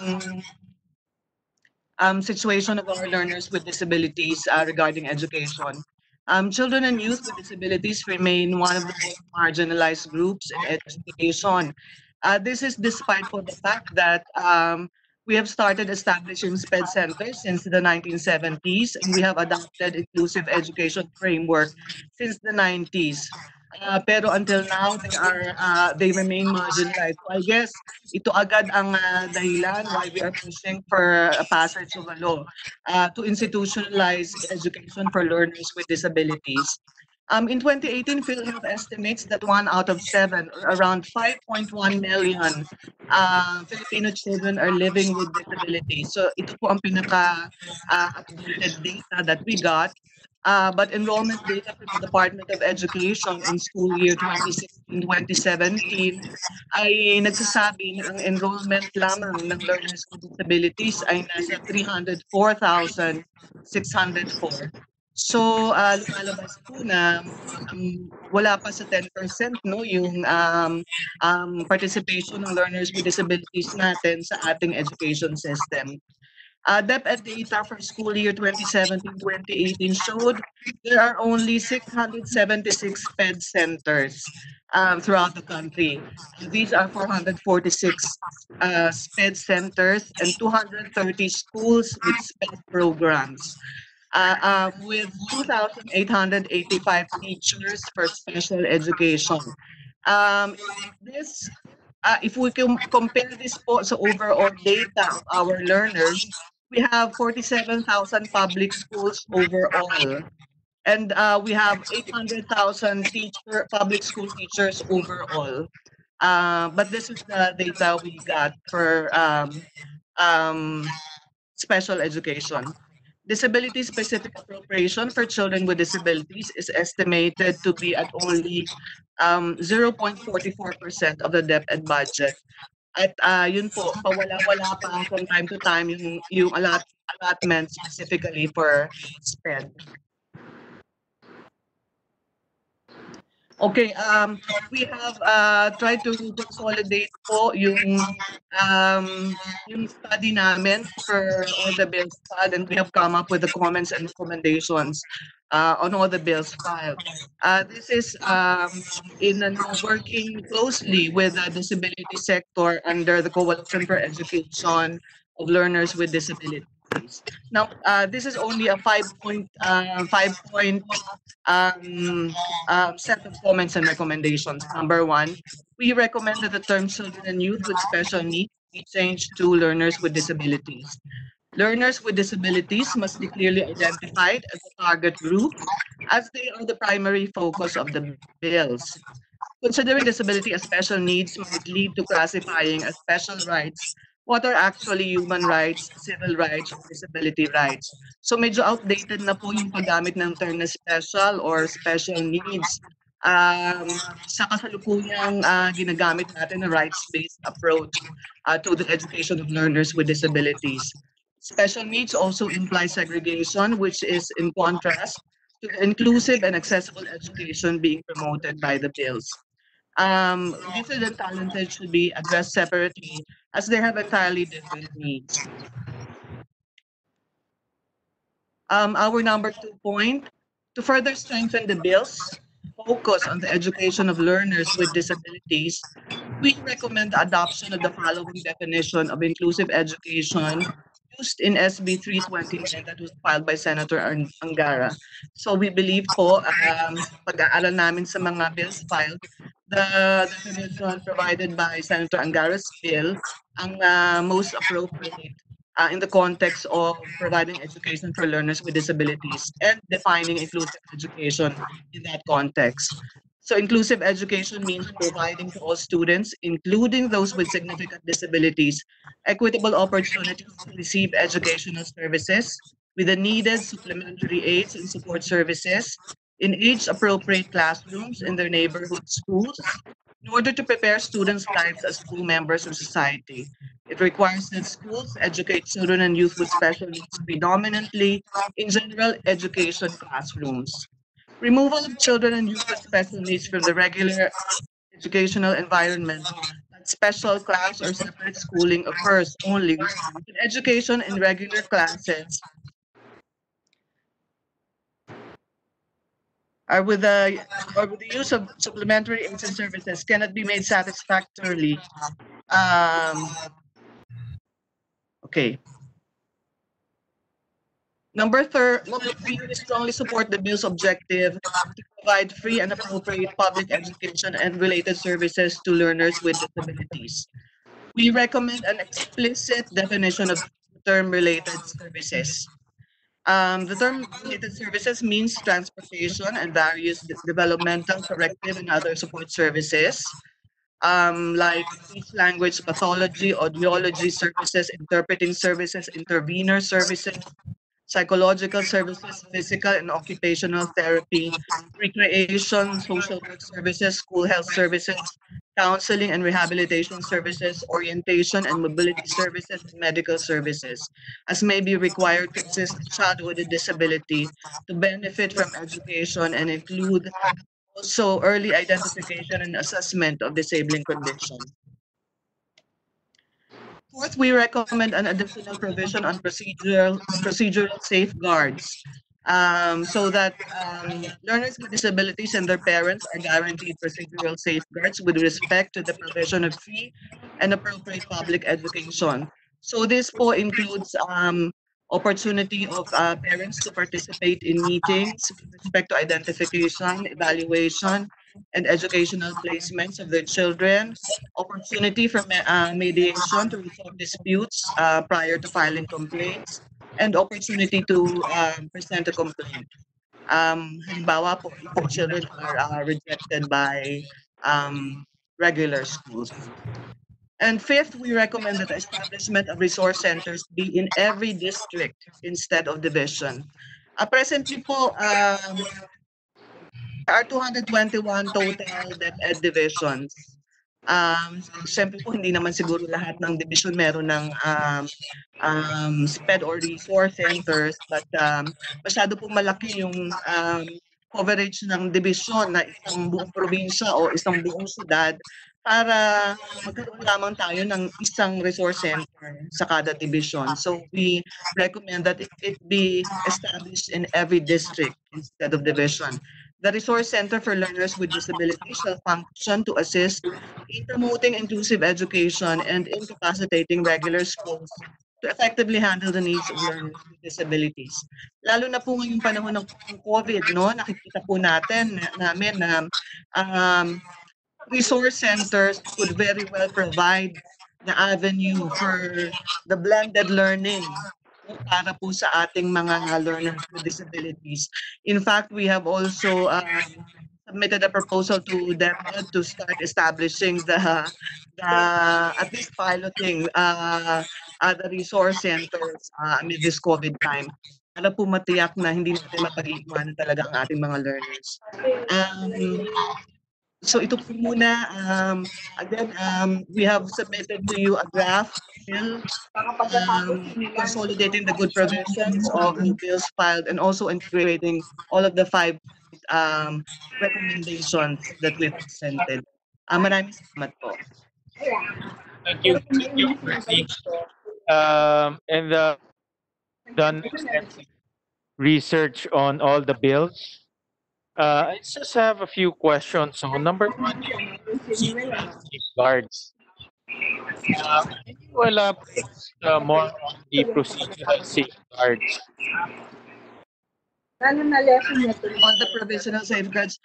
Um, um, Senator, I have, uh, ko lang malaman ninyo na I have with me here in the meeting representatives from um, uh, the disabilities who are, who are also leaders of the Philippine Coalition of the UNCRPG.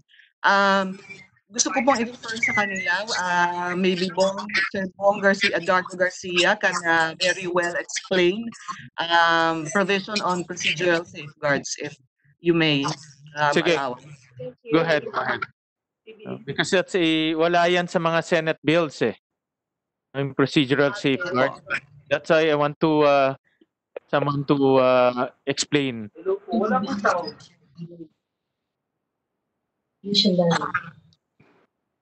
Please, Mr. Garcia, go ahead.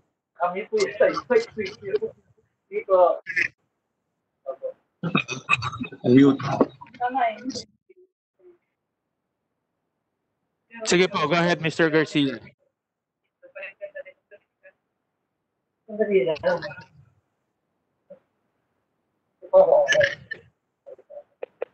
Mr. Garcia?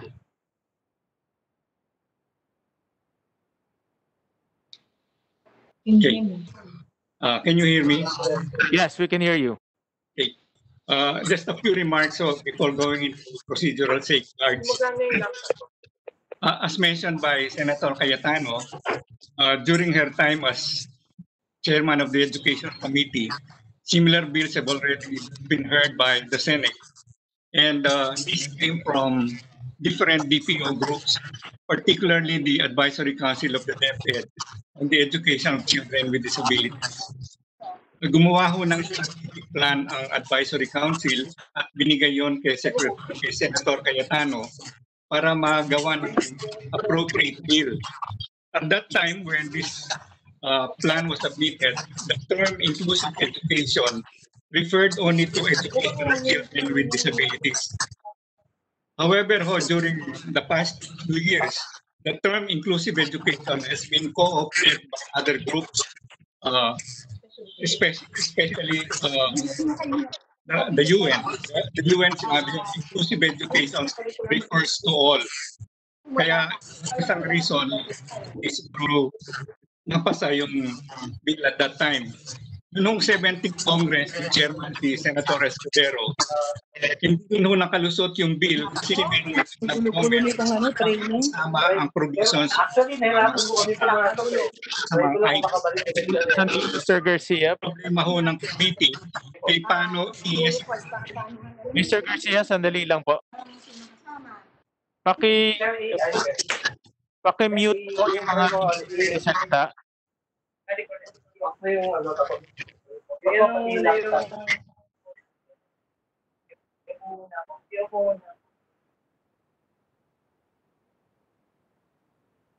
Yan. So, sandali po ah. Na- ah.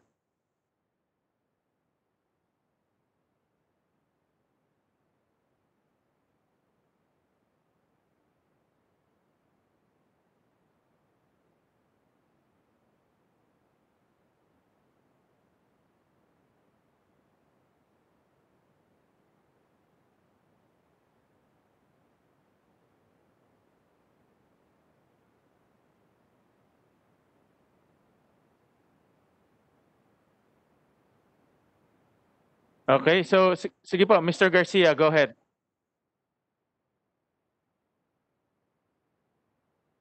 umpisa ko yung bill na ito nung pang 16th Congress. Ah, ito ay dahil sa trabaho ng maraming DPOs, parehong ng Advisory Council sa DepEd na gumawa ng strategic plan para sa education ng mga children with disabilities. At binigay ho ito Senator Cayetano para ma-convert into a bill, magkaroon ng exclusive bill for the education of children with disabilities. Uh, ang, nung panahon po yun, ang term inclusive education referred only to education of children with disabilities. However, the term has been co-opted by other groups, particularly since the United Nations started using the term to include all learners. So naging uh, including all learners, particularly all marginalized learners. Kaya na-broaden yung concept ng inclusive education. Okay. Uh, noon hong 17th Congress, hindi rin ho ito natapos ng committee ni Senator Escudero dahil may, may mga grupo na gustong isingit yung mga pangangailangan ng mga ibang grupo like madrasa and IP. Ang naging problema ho ng committee is uh, dadami yung funding requirement ng bill at hindi na alam kung paano i-estimate kung i-expand yung coverage ng bill. Yung main issue nga ho siguro ng mga bills nito is define the coverage of the proposed bills, whether it should be limited only to children with disabilities or to include all other children, uh, including all other marginalized children. Sa lower house, yung issue din ho yung ganitong issue. At ang, if I may volunteer din ang naging decision ho ng lower house is to limit the the education of children with disabilities pero sinama to, to nila education for learners with disabilities in support of inclusive education. Yun yung ginawang term sa lower house. Ang ibig sabihin ho natin kasi sa inclusive education when it refers to children with disabilities is that they are educated as much as possible together with non-disabled peers in regular classrooms. And they are taken out only when it is required by their disability to be given additional training and additional courses. So yun yung naging basic definition ng inclusive ed. Dapat kasama kayo sa loob ng classroom, which is in contrast to the existing system of training students in SPED centers. Pag nasa SPED center ho kasi ang bata, naka-isolate siya, naka-segregate, and the disability sector considers this system as discriminatory to children with disabilities. Kaya kung pinupromote, dapat inclusive. Dapat maturuan yan kasama yung mga walang kapansanan. When you look at the statistics of children with disabilities, about 80% have minor disabilities. At ito, moderate disabilities. At walang masyadong problemang isama mo sa mga regular classrooms. Only the remaining 20% or so have severe disabilities that they may require special training and special classes to be done outside the regular classrooms. Kaya nga ho yung position namin ngayon ngayong 8th Congress, uh, sabi namin, i-limit natin, i-define natin yung scope ng bill to learners with disabilities. Dahil yung inclusive ed, nag-iba na yung meaning, pati ho yung term na special needs, nag-iba na rin. It, it's uh, it's now being used to cover all marginalized children and not only children with disabilities. Okay. Uh, gusto ko lang hong idagdag sana na in the times of COVID, kasi may mga nag-comment kanina na ngayong may COVID situation, siguro ho, kung may dagdag din sa mga bill. Yung COVID ho kasi it highlighted the role of parents in educating their children. Ang mga bills, so while there are mentioned uh, the role of parents, baka kailangan ng more explicit provision to specify the assistance and support that parents have to get from government so that they can continue the role of teaching their children in their homes rather than in schools. Okay. Ang isa pa ho sigurong pwedeng idagdag sa mga bills is a provision on flexibility of modes of learning. Sa Amerika ho kasi may mga ibang eskwela that are opting to stop schooling, to start schooling, because they cannot provide education to children with disabilities. Under the law sa US, IDEA, these have to be taught in inclusive settings. So sinabi ho ng Secretary of Education, uh, we're giving you the flexibility to do distance learning for all children, including children with disabilities. Yun yung DepEd natin, uh, ginawa na ho yun at sabi nga nila, gumawa tayo ng IEP para sa bawat estudyante. Yung IEP ho kasi titingnan, i-assess kung ano na bang status ang education level ng bata, anong kailangang ibigay, anong kailangang assistive devices, anong kailangang support ang ibigay. At yun ay pag-aagrihan ng eskwela, ng teacher at ng magulang. Kaya ho nabanggit kanina, it becomes a legal document. It becomes a contract between the school and the child. Ah, kaya ho, hindi natutupad yung IEP, yun yung papasok tinatawag namin procedural safeguards. So ma- gagawa tayong maraming provision, ganitong gusto natin mangyari. Pero kung hindi naman mapatutupad ang mga provisions na yun, saan pupunta ang magulang? Saan siya magdadala ng complaint? Yun yung sinasabi naming procedural safeguards. Pumunta dapat pumunta ka sa DepEd at kung hindi matang hindi niya at hindi siya agreeable kung anong sinasabi ng DepEd, then we create a body that will resolve or mediate yung conflict or dispute between the parents and the child and the school.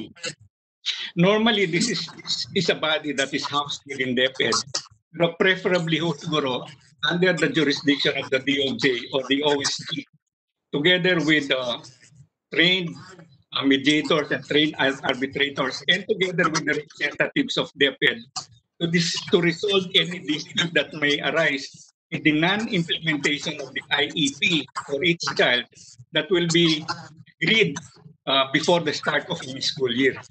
Uh, yun lamang lang muna po at this time. Uh, maraming salamat. So, Thank you, thank you, Mr. Garcia.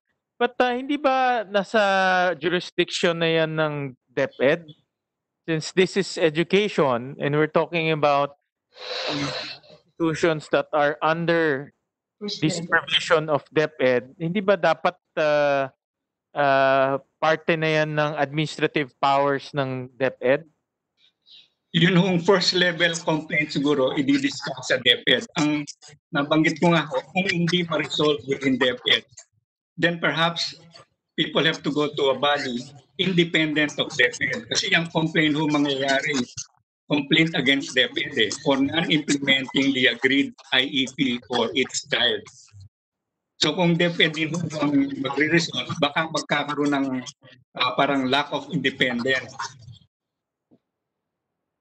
Okay, nakuha ko na yung concept. Although we have to ask DepEd their uh, their opinion on that because uh, it might be redundant. Uh, DepEd is already doing it, no? Um, creating another body might also become uh, superfluous, no? But uh, everyone will ask uh, DepEd their opinion on that.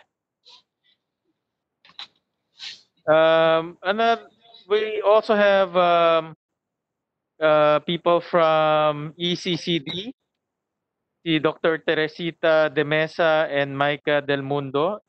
Any one of you who wants to uh, uh, explain their um, position paper?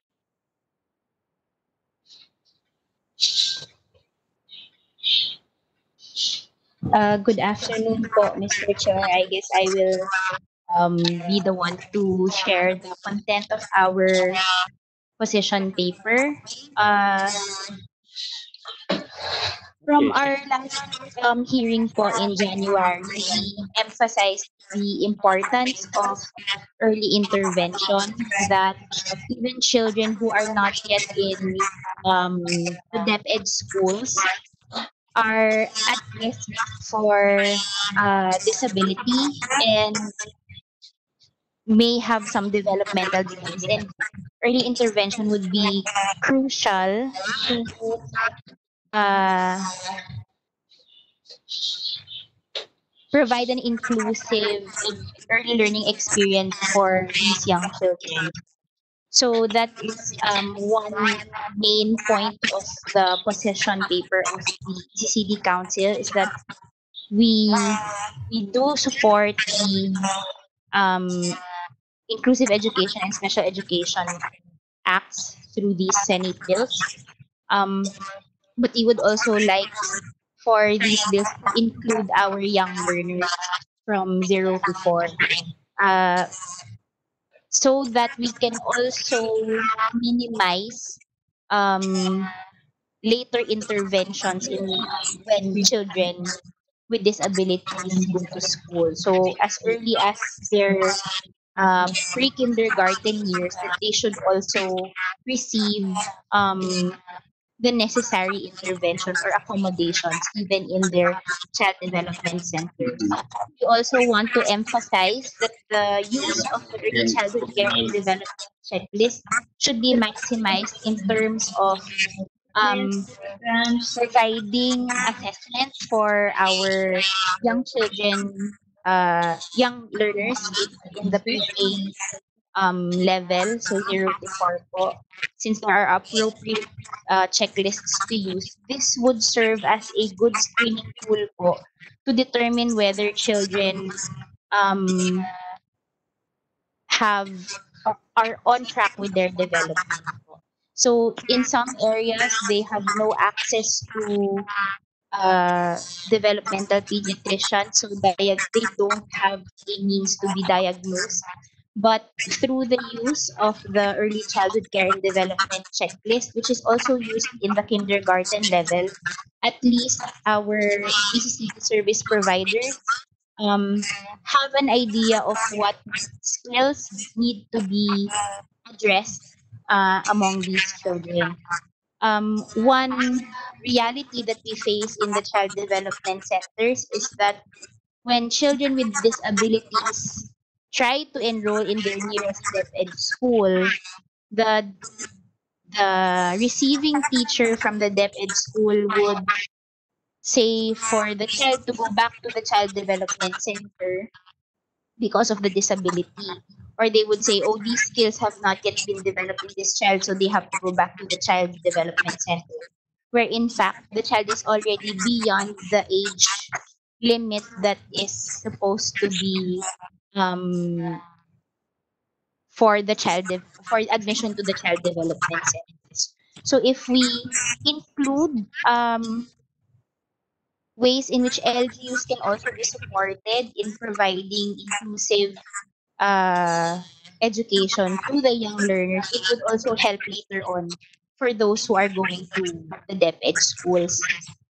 Uh, we also mentioned in our position paper that for areas that have um, difficulty in accessing uh, center-based programs, we could probably include in the bills ways by which LGUs can provide home-based programs or community-based rehabilitation programs for children who need it.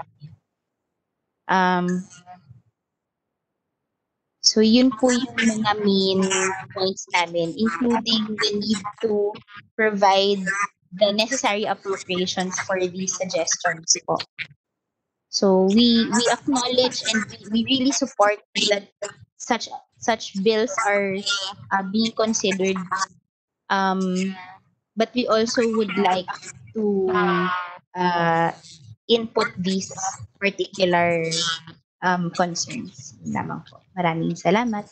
Thank you. Thank you, uh, uh, Micah. We, we uh, it's a good idea to include um, early childhood uh, in the bill, uh, especially daycare centers. Um, I think uh, early intervention in that realm is uh, very important no? because uh, early detection can correct many, many things. Eh. So uh, we do agree that we can include that in the bill. Uh, pahingi na lang ng suggestion sa inyo so we can uh, include that. Um, and also what type of uh, early intervention that we can give in that age range. Sinabi mong 0 to 4 years old. Although what we can hit is actually the 3 or 4 years old because yun yung mga daycare age eh. Bumaba ng 1 year ang daycare age eh. Um, we have national child development centers, Mr. Chair, that also offer programs for infants and toddlers. So there are some uh, disabilities po kasi that have uh, telltale signs earlier on po. While there are some disabilities also that can only be confirmed uh, later on. But whatever developmental delay they present during these years can be addressed po through uh, capacitating our child development workers and also providing um, professionals or at least transfer of technology for auxiliary services for these children in the LG setting. Uh, medyo scarce din po kasi yung kunwari po yung nangangailangan ng speech therapist or physical therapist or occupational therapist. Um, in, lalo na po sa mga malalayong lugar. Pero meron din pong tinatawag na community-based rehabilitation programs. I think UP Camp has a such a program po.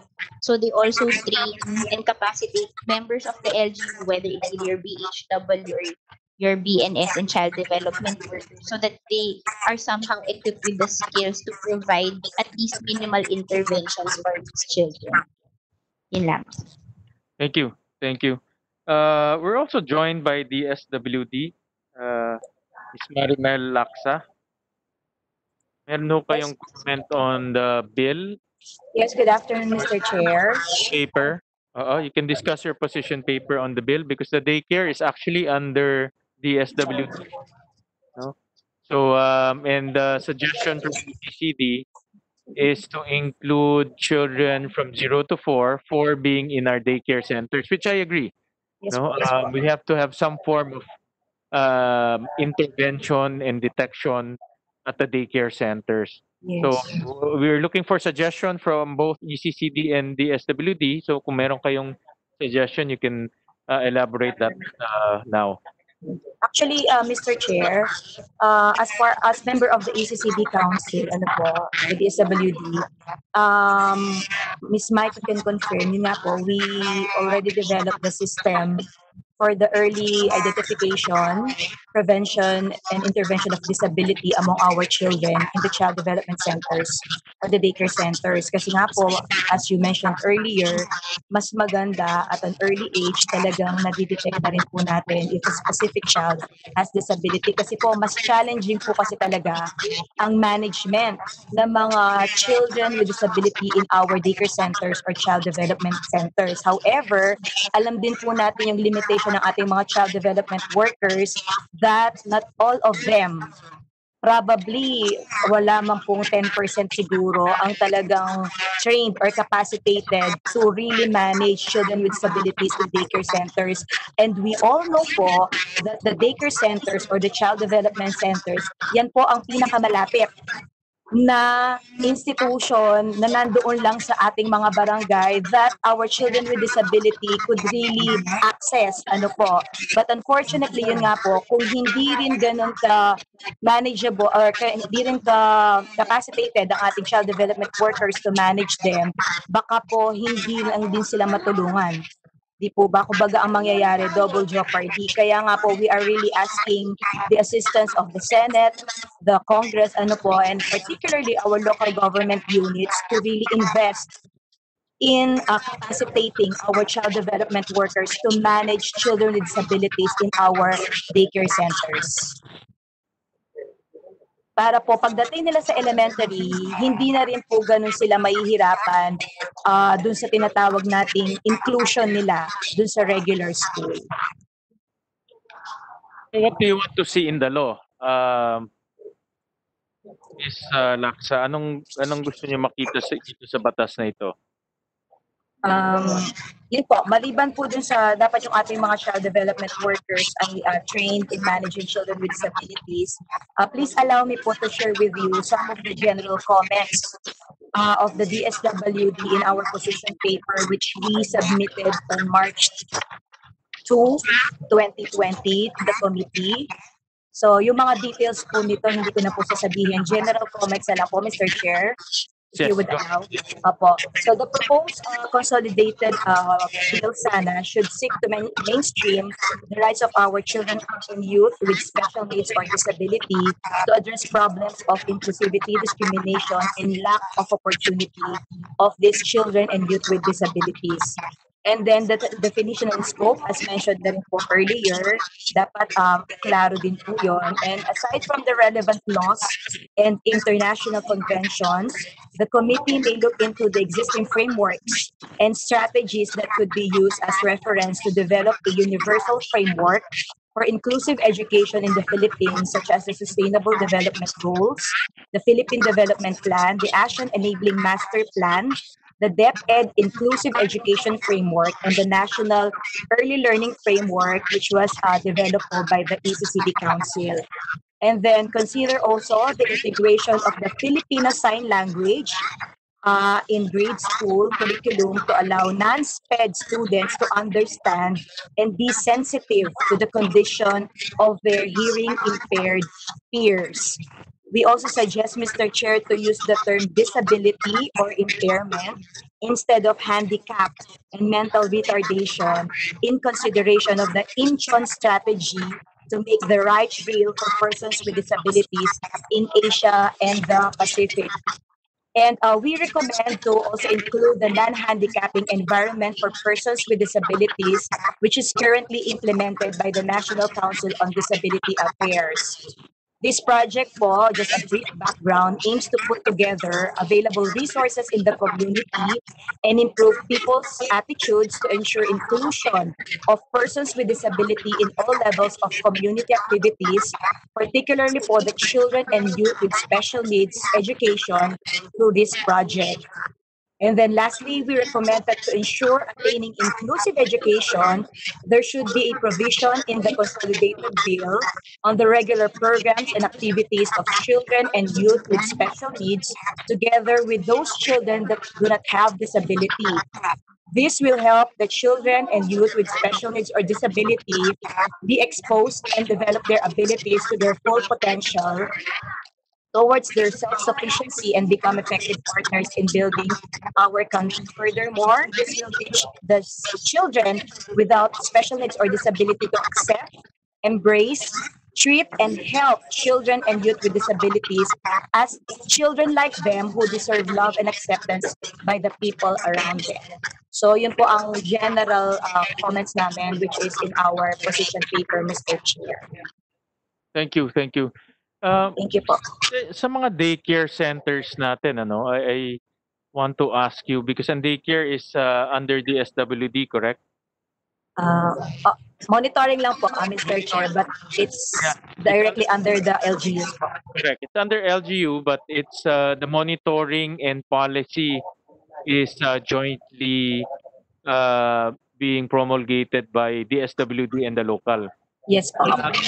Yung um, any recent policy on on on diagnosis, early detection, uh, meron ba kayong recent uh, policy on those things? Because I really believe that uh, as early as we can, no, and and the daycare being a organized um, organized uh, unit, uh, we can use that for early detection. Meron bang mga policies linabas ang DSWD to that effect? Actually po, even way back 2000, year 2000 po yata or earlier po, uh, Mr. Chair, meron na po tayong uh, DSWD policy po dyan on the early detection of disability in our daycare centers. Ano po, na-revive lang po with our ECCD Council, yun nga pong uh, system on the early detection and prevention of disability. So meron na po tayong policy na Kayong statistics, like for example, uh, uh, based on yung sinabi kanina ni Micah, yung checklist, no? I, I-. I- that is the one you were referring to. Meron ba tayong statistics? For example, ilan ang ilang students ang uh, na-survey ninyo through this checklist? Ano yung kanilang mga disability? Ano yung intervention? Do you have those uh, statistics? Because again, no, tama ka eh. You're, you're absolutely correct that the daycare is the nearest learning institution to the barangays, to our communities. Uh, and that is a a that is a potential for early detection. So, do you have any statistics together with ECCD on on this matter?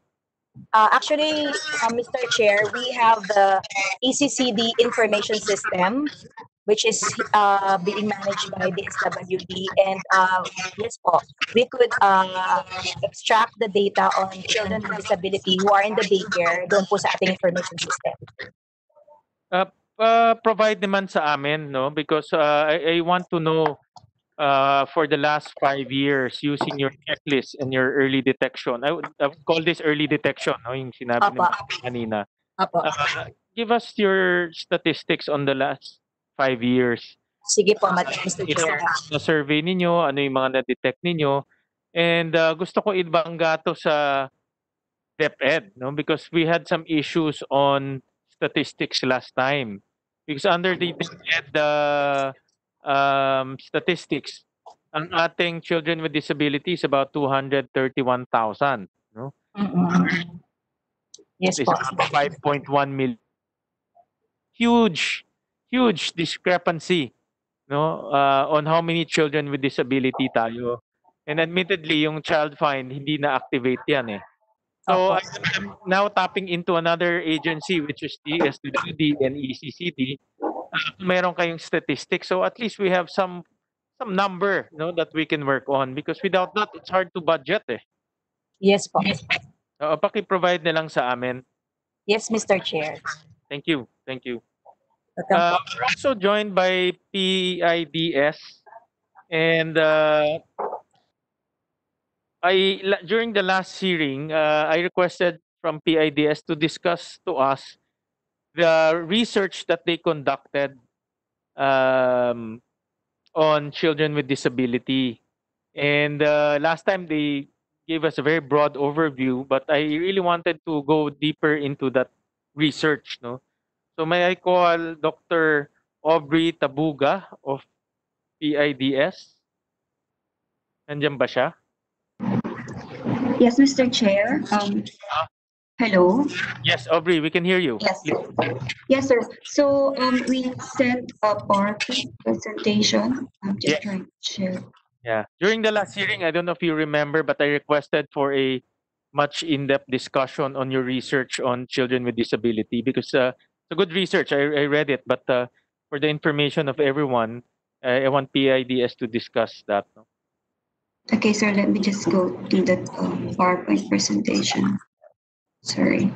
Um, share content.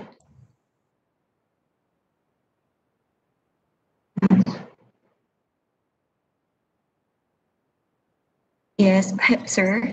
Can can you see? Yeah, makita na. We can hear. Thank you. Okay, so um, pardon, Mr. Chair, um, but I'm I wasn't part of this project. But this is supposed to be the PowerPoint presentation um, of Dr. Celia Reyes. Okay, so, so in this um, study, it uses the census of population data on disability because that census had um, disability variable in, in the census. So let me just go through it very um, fast. So based on the 2010 census, we found that there were 343 or 344 children with disability. That's about um, a little below 1% of children. Okay, so in, in that data, there were more boys than girls who had disability. As you can see here, the blue graph, the blue bars in the graph are are higher than the pink bars um, representing the girls. In terms of um, literacy rate, of course, the persons with disability have lower literacy rate than the non-persons with disability. Um, okay, so in terms of the population of 10 and over, we are showing you the regional um, disaggregation of the literacy rates. And again, you can see um, the lower literacy rate among persons with disability, wherein ARMM would have the lowest um, literacy rate. In terms of the the profile of these uh, persons with disability and their literacy rates, you can see that it's the youngest and the oldest groups who have um, the lowest um, literacy rates. So you can see here in 2010, for instance, among those aged 10 to 14, and then um, among those aged 15 to 19, the literacy rate among the PWD are around 78 to 79 percent. Um, and if you compare that to the non-persons with disabilities, it's about like 98 percent. You can also see these uh, disparities um, for the, the older groups. In terms of the gender disparities, you can see that um, the literacy rate among male PWDs is lower than among female uh, PWDs. So in terms of school attendance rate of, of children, so you can see here that um, for children younger than 16, in 2010, there was a um, slight improvement in terms of their school attendance rate. But then in 2010, um, the older children had um, declined or had, had uh, a attendance rate of it is lower than in 20 in 2000. So that's that's the trend for for those um, ages. And then girls with disabilities, they have higher um, school attendance rates than boys. So boys are disadvantaged in more general sense.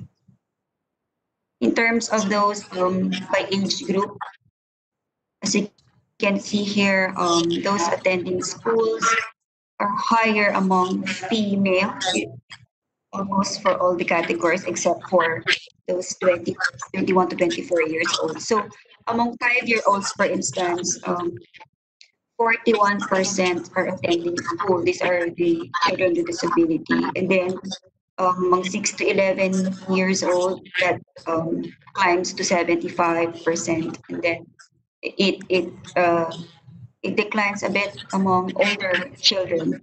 So the the trend in persons with disabilities among um, the school attendance rate among children with disabilities, it's consistent with the school attendance rates among non-PWDs, wherein it's the children that are um, usually almost um, not in school.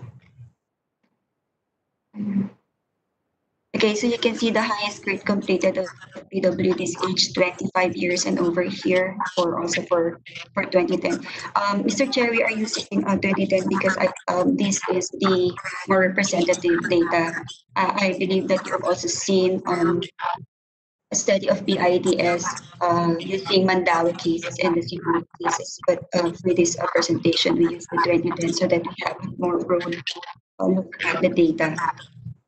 So as you can see here, um, the PWDs, most of them, you can see the large bar, large orange bar there. Most of them are elementary undergraduate. If you look at the non-PWDs, uh, at least madami yung high school graduate. But of course, when you move down um, to, the, to the higher education attainments, you will see uh, that uh, while more than 10% of non-PWDs um, reach college, only like around 7% of the PWDs are able to, to reach that level. So if you look at the average years of schooling of PWDs, um, of course, it's generally lower than non-PWDs. So if we get the, the years of average schooling. So at age 12, um, 3.8 lang sa kanila, or 3.8 lang average years of schooling as compared to to people that same age, uh, 5.3 um, years. And then for for 16, for 16 year old um, PWDs, six yung average uh, years of schooling nila. And then for 18 year old, 6.9. And then these are um, generally lower than the non-PWD population. So um, we have also um, noted the different um, programs of DepEd for learner, learners with disabilities. And so these are the institutionalization of SPED programs in all schools, and then strengthening special education program at the basic education level. Um, there's also the ALS, of course, which provide uh, learners with hearing and visual impairment with appropriate learning interventions through the ALS basic uh, literacy program and the accreditation and equivalency program. Of course, you also have alternative modes. I, I don't think I'm gonna, I need to um, mention all of this. So um, as of February 17, when, when this study was conducted by, by Dr. Celia Reyes and her, and her um, staff, uh, there were 648 centers and regular schools offering study programs. I think this was um, uh, mentioned earlier um, by another presenter. And these are also the number of SPED teachers up to that um, school year. Okay, so I think it's important to show this um, data, the, the graph showing the disability, disability or impairment of our learners with disabilities. And um, a while ago, there was um, there was a mention that uh, like only 20% of um, children with disability have um, what do you call this? Um, yung malala yung kanilang kondisyon. But then I, I don't know where where that came from. But from here, we, we can see that there's so many um, types of disabilities, and um, that is why it's very important to have this this early diagnostics um, because you can see it's, it's easy to maybe maybe see maybe see the visual impaired person and then maybe it's, it's also it's also easier to to um, be aware kung ano yung itsura ng isang uh, mobility impaired and yes, the visually impaired and the hearing impaired. But then it gets more difficult when we look at this learning disability, intellectual disability, autism spectrum disorder, emotional behavioral disorder, uh, and the other um, uh, types of disability that are difficult to to see um, or to, to be aware of if we didn't have the, the training for it. And so um, these are for elementary uh, level students. I think this came from the DepEd. Um, and then this this another table shows the that of the secondary level and it also shows the different kinds of, of disabilities there. So you can see here, for instance, um, for secondary students, secondary level students, yung pinakamalaki po ditong number is is those of difficulty seeing. So, and then there are also a lot of them difficult have difficulties remembering, concentrating, paying attention and understanding based on manifestation. Okay, so uh, this is the, the figure that I've shown earlier. This just shows um, the trend through the years. Then, so for education, um, what are the, the highlights of the idea studies uh, for education? So when we look at the reasons for not ever going to school and not finishing school, so they they have um, consistent find consistency in the findings. So number one is the financial problem. Um, and then number two, due to disability. And then number three, the child does not want to go to school. And then number four, family did not allow the child to go to school. Number five, school was not available in the neighborhood. And then number six, no companion going to school, get sick or shy. Others, um, the, children prefer to go to. Yun yung naman yung reasons for not finishing. But the reasons for not ever going to school, we can already see what is happening there. That um, if you look at the school, maybe hindi siya yung pinaka-on top there, but it's the financial problem and sometimes due to the disability, which also shows us that it's the awareness that um, is problematic sometimes. Dahil sa disability niya, hindi siya, ayaw niya mag-aral, which um, tells us that maybe they don't have the information where to go, what to, to approach, so that's the that's the and then the child doesn't want to go to school because probably the child does not know where the, the family of the child doesn't have the information on on where to go, what what uh, assistance, what support uh, the sick in terms of the, the disability. So awareness, um, Mr. Chair. Um, if, if I may just um, try to add to what has been mentioned earlier about diagnostics also in our in our position paper, we have highlighted the importance of diagnostics um, because you cannot uh, formulate the, the intervention earlier on if you did not have early diagnostics. And so it was mentioned earlier that it's very important that the CDC staff um, are, are well trained, but also we have to account for children who are not going to school in the first place or who are not going to, or who do not go to the, the daycare centers because of uh, possibly their, their disability. And so um, one of the studies at PIDS, there was this recommendation of why not um, for, for medical institutions, for instance, medical schools, uh, they, they have to work more closely with the communities because we can um, take advantage of the, the students in these schools the, the nursing students, the medical students. Of course, this should be done under the, the supervision of, of professionals. If these uh, institutions or these medical schools have closer interaction with the community, there can be more routine screenings of children within that area. I think that that is one of the recommendations from the study that, that the IDS did. Another one is that um, there can also be screening, regular screening or more routine screening uh, at the first grade in elementary. As you've seen at the elementary level, uh, madami pong um, children with disabilities na uh, maybe we haven't seen, hindi natin nakita doon sa CDC. And then nakapasok sila sa, sa elementary, then they have this uh, disabilities. And, and also, um, apart from that, someone mentioned about the volunteers uh, in the area. So community awareness is very important for the diagnostics because um, um, especially when our volunteer health workers, kasi ngayon, ang laki na ng, ng, ng role ng ating mga mga community health workers. Yung na- nabanggit kanina yung BNS, the Barangay Nutrition Scholars, maybe the Barangay Health Workers, they can also help in terms of of um, um, it's really not diagnosis, but really knowing kung sino ba yung batang dapat magpatingin. And of course, because because we we need um, the, the these children to to be all included in terms of the diagnostics and the early intervention. Yung role po ng LGU, napaka-importante. And so, kanina there was uh, there was a, a person who mentioned about it, sh- it shouldn't be at the division, but it, it should be at the district level. Because in division, if I remember correctly, the division is at the provincial level. So in, in my Ilocos, uh, we only have division, Ilocos division, something like that. So people from remote areas would go to, you know, would, would travel very far just to just to access the, the learning resource centers if it will be at the division level. And I think it, it's um it's important to look into this no?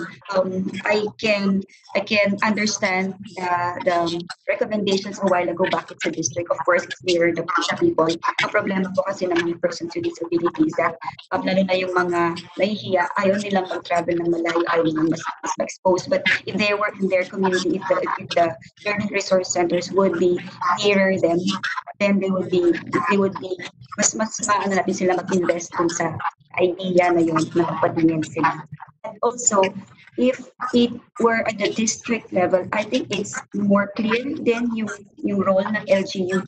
Kasi if it's at the division, one of the questions or one of the, the comments that we, provided um, on the PIDS um, position paper is that how are we going to to identify the contributions of the LGUs if it, if it were at the division level. So, kasi mangyayari niyan, uh, kung saan yung learning resource center, baka siya lang yung mag invest doon, the LGU. But if we provide or if we ask all districts, school districts to to have, hindi naman siguro sing ganda nung, nung puput up ng establishment or, ng- or facility, uh, say at the city or at the provincial level, but to have like um, a unit of the of that uh, learning resource center closer to the districts than if it na, na hindi talagang isang isang division, isang isang center. Let me, if I can uh, share other aspects of the the PowerPoint. I think I've shown this earlier. Sorry. Okay, so uh, we also had in the analysis um, what we call a, a logistic regression. It's just to, to, to see the correlates of, of attending school among persons with disabilities. And so, uh, as I mentioned earlier, if, they get older, so mga older na PWDs, um, they, they have higher chances of stopping school. Which I've mentioned earlier, ito rin yung case po ng ating mga non-PWD or yung, yung overall na mga, mga children natin sa school yung mas matatanda, mas nagde-drop out na sila kasi either um, either due to they want to seek employment or because of, of, of financial difficulties. Another uh, factor that's important here in the analysis is that being being a male or uh, PWD child, mas mataas din yung kanyang chance of stopping or, or dropping out of schools. And then if there are unmet, unmet needs, um, they, they also, the children also drop out of school. Also, if the mother um, if the mother has higher uh, educational attainment, uh, then uh, mas mas kakaroon ng chance yung PWD to attend school. Of course, um, being more affluent um, increases the chance of the PWD uh, to attend school also. And we also found that being a 4Ps beneficiary um, um, improves the chance of the of the PWD child to be in school. Okay, so yung distance ng school, which I mentioned earlier, kung malayo yung school, uh, mas nag nagmamatter din siya. So kung mas siya ng malayo yung school, um, there is a higher tendency to drop out from the school. So these are the challenges, uh, just to just summarize um, the PowerPoint presentation. So it's lack of awareness on programs. Ano ba talaga yun? If I have a child that has a, uh, a disability, saan kami pupunta? We don't know. They, they don't know where to go. Then lack of teachers, of course, and, and sped centers.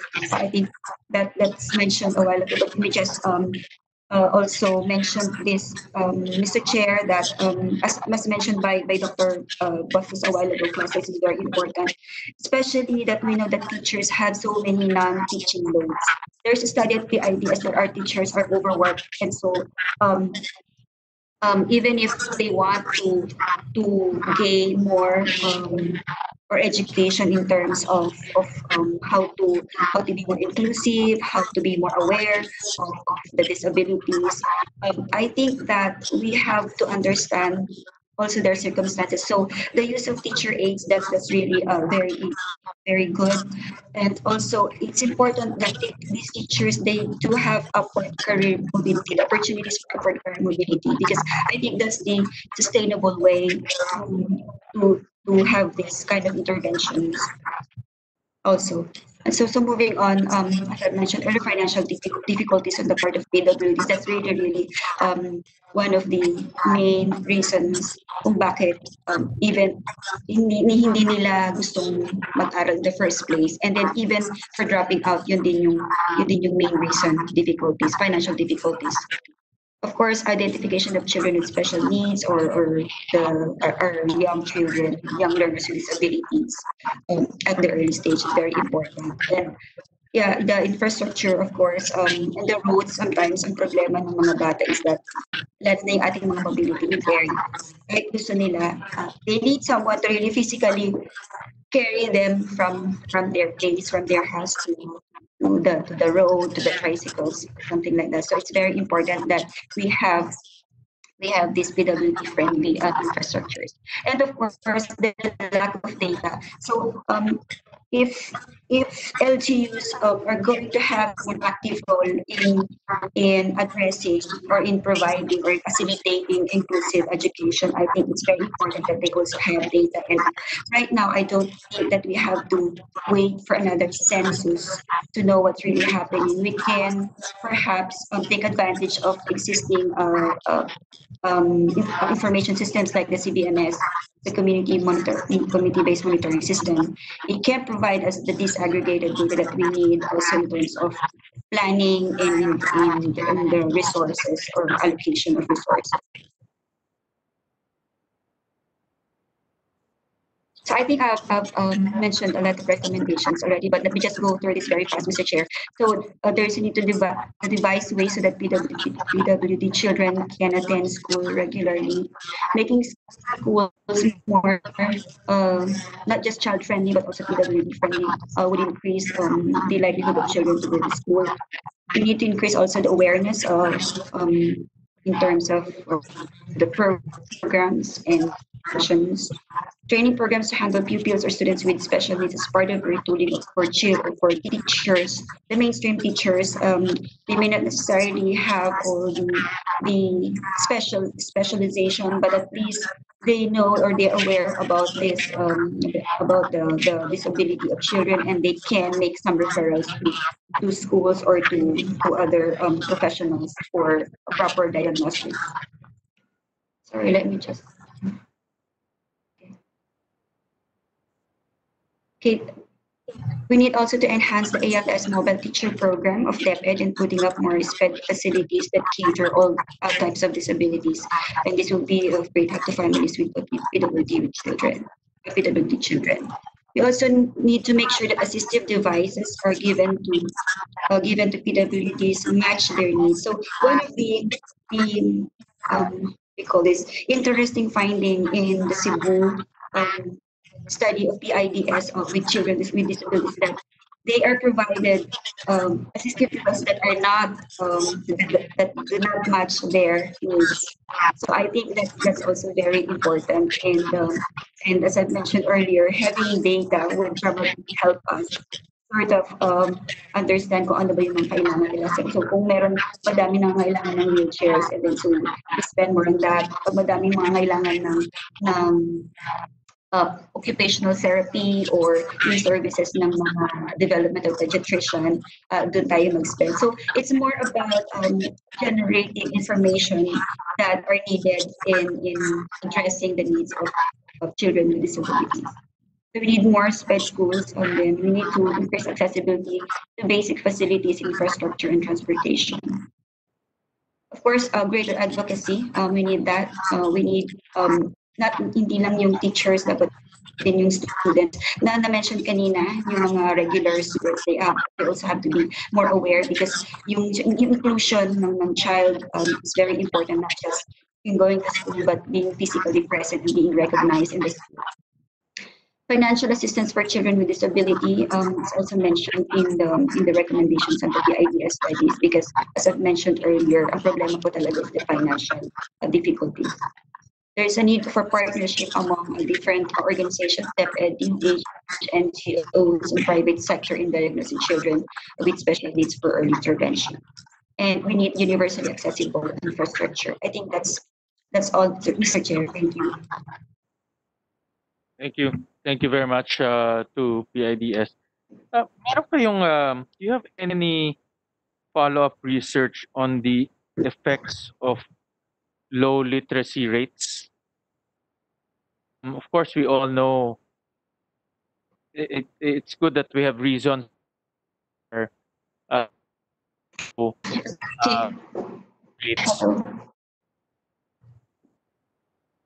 low literacy Hello, Mr. That big, no? Um, If I'm not mistaken, to, so ano ba tayong effect?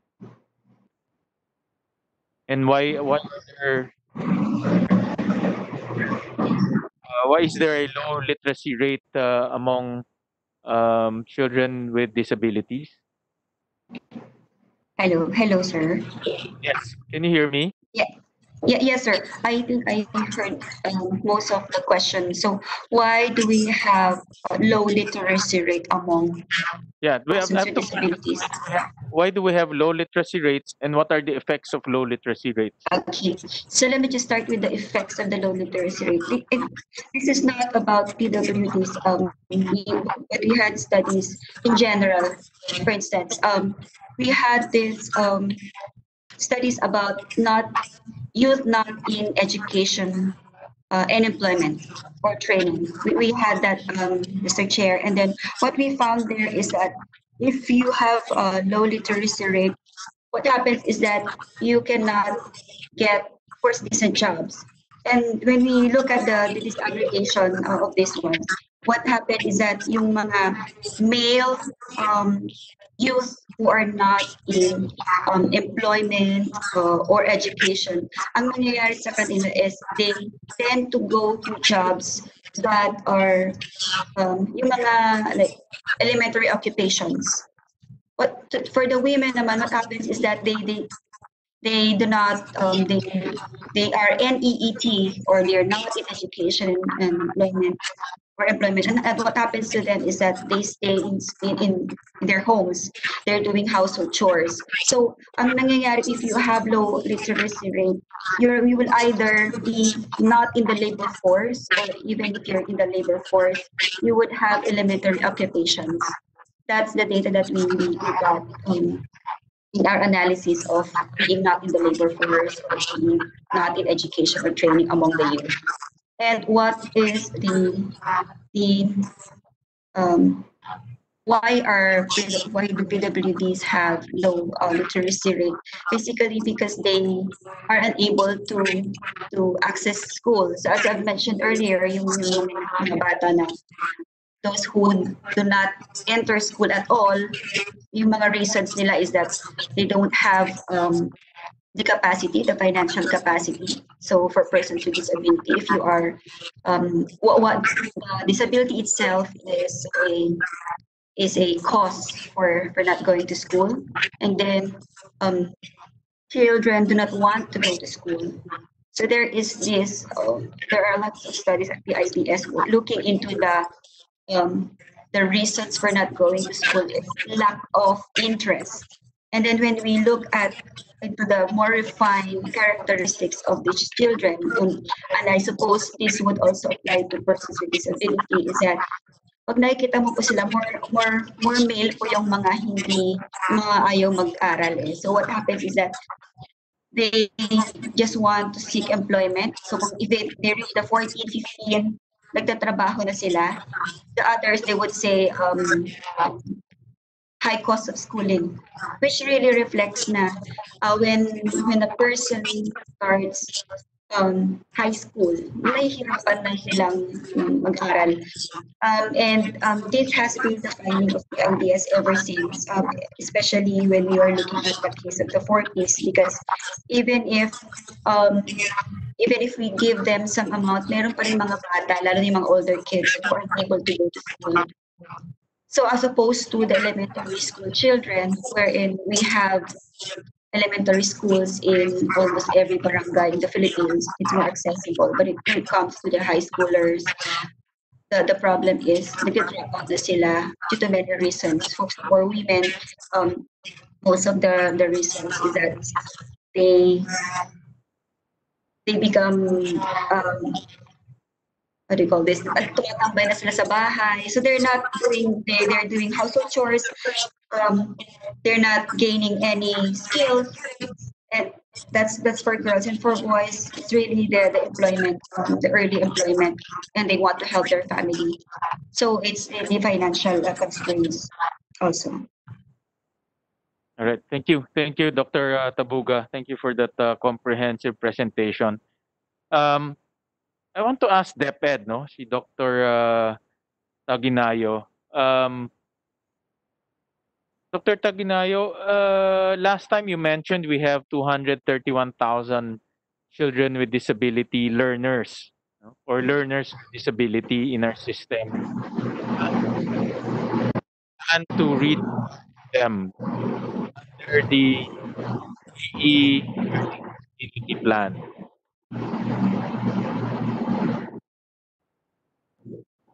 Is that there, Dr. Taginayo? Hello, good afternoon po, Mr. Senator. Yes, Dr. Taginayo.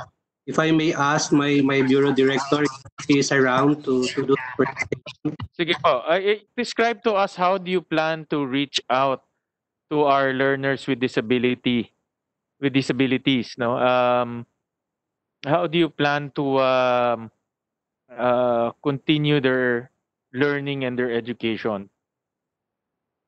Ma'am Laila. Yeah. Good afternoon, Honorable Senator Awin and um, to the other senators. Magandang hapon po sa inyong lahat. Uh, may I know if I am heard? Yes, yes. We can hear you very clear. Um, sir, actually, um, we also prepared a learning continuity plan for a special e- for special education. And so, if I may go directly to what we uh, have prepared for our children with disabilities, um, the first thing we did was actually to harvest uh, existing materials that we already have in the different schools, particularly those um, implementing special education. And with the self-learning modules that uh, we have developed for all our typical learners and for every for all our learners, um, the, we're going to convert uh, this uh, self-learning modules to different uh, accessible formats so that um, there's going to be inclusive uh, ebooks or e-module that we're going to have of which um, These ebooks uh, will be embedded with sign language interpretation and audio will also be provided. For radio and TV, Your Honor, um, the SLMs will be converted to radio scripts and eventually audio lessons. And um, for TV and even for the DepEd Commons, um, we will also be converting the different um, self-learning modules to video lessons. And um, part of uh, that video lesson should be that sign language interpretation, Your Honor.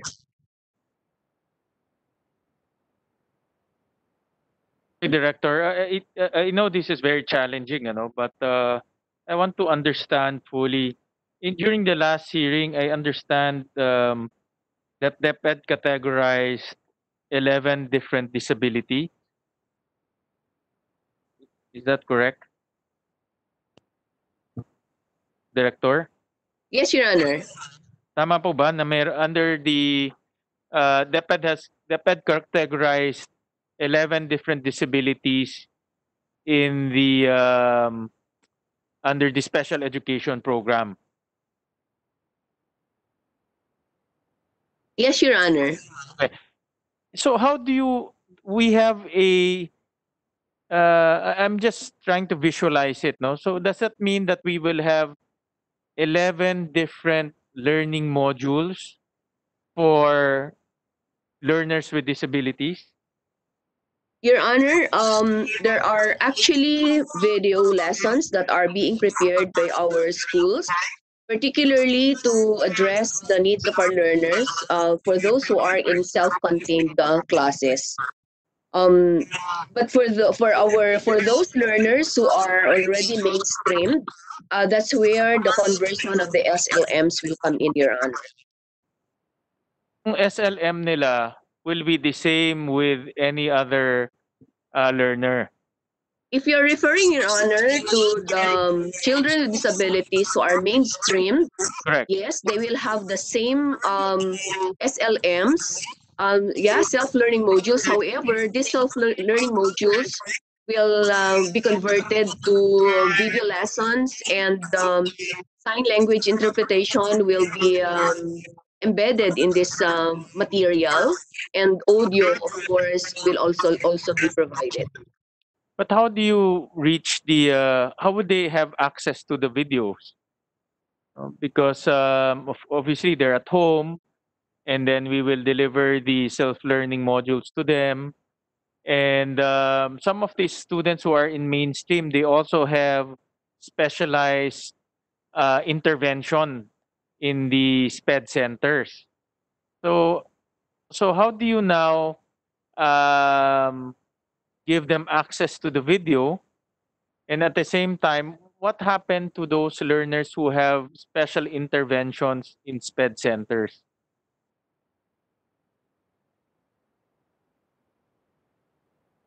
Uh, actually, Your Honor, this is part of the profiling that uh, should be done, that are being done by our schools.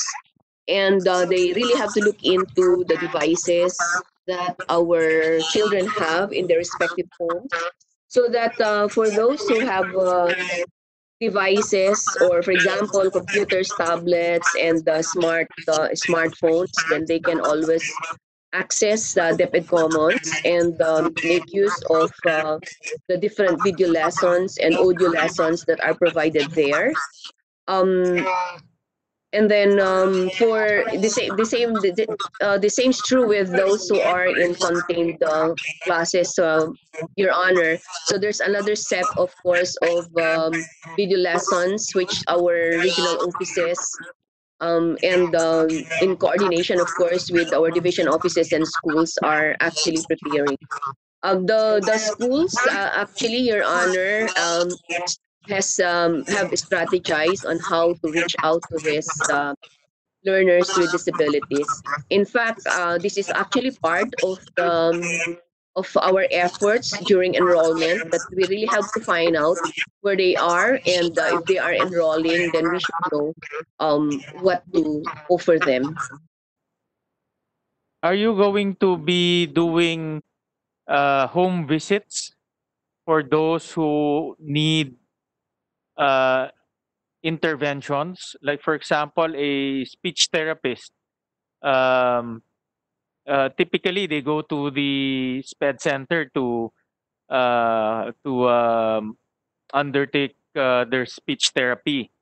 But um, since wala tayong sped center ngayon how do you uh, are you going to go to their homes and conduct uh, speech therapy and other intervention programs? Meron bang is that part of the learning continuity plan Actually, Your Honor, um, the what the our learning facilitators uh, will will be doing is uh, to um, assist them actually in on, on how they're going to undertake the different activities as contained in the self-learning modules. But as to uh, those services that can be offered uh, by specialists, uh, that's going to be a challenge, Your Honor, on the part of the Department of Education. To be honest enough with it. Yeah, I know it's a big challenge, but uh, I think what we should, um, uh, as a matter of strategy, is first to um, have an inventory or have a list of uh, specialists that can be deployed and uh, how many students require these specialists as, as a matter of uh, strategy. And uh, let's see how we can um, fill in the gaps. No, I, know it's a challenge, and uh, um, I don't expect uh, I don't expect a definite answer now. But I just want to get a broad um, overview from DepEd on how to uh, address the needs of our learners with disabilities, considering that they need intervention and also they re- they would require uh, their typical mainstream lessons, no, through the self-learning modules. Meron ba uh, uh, are we crafting a separate uh, learning continuity plan for our uh, learners with disabilities? Yes, Your Honor, we actually crafted uh, a separate learning continuity plan for SPED. We can uh, send you, a, we can provide you, Your Honor, a copy of this. We can email to you. Oh, sige, pa pabigay na lang sa akin yung ano, yung um, uh, learning continuity plan. And um, in, in terms of um, um, uh, number of children, no? Uh, last time I understand that there are 231 learners in our system. Uh, how many of those will require home visits or interventions? Kasi hindi naman lahat ano eh. 'Di ba? Hindi naman lahat kailangan ng intervention. Some of them are already mainstream.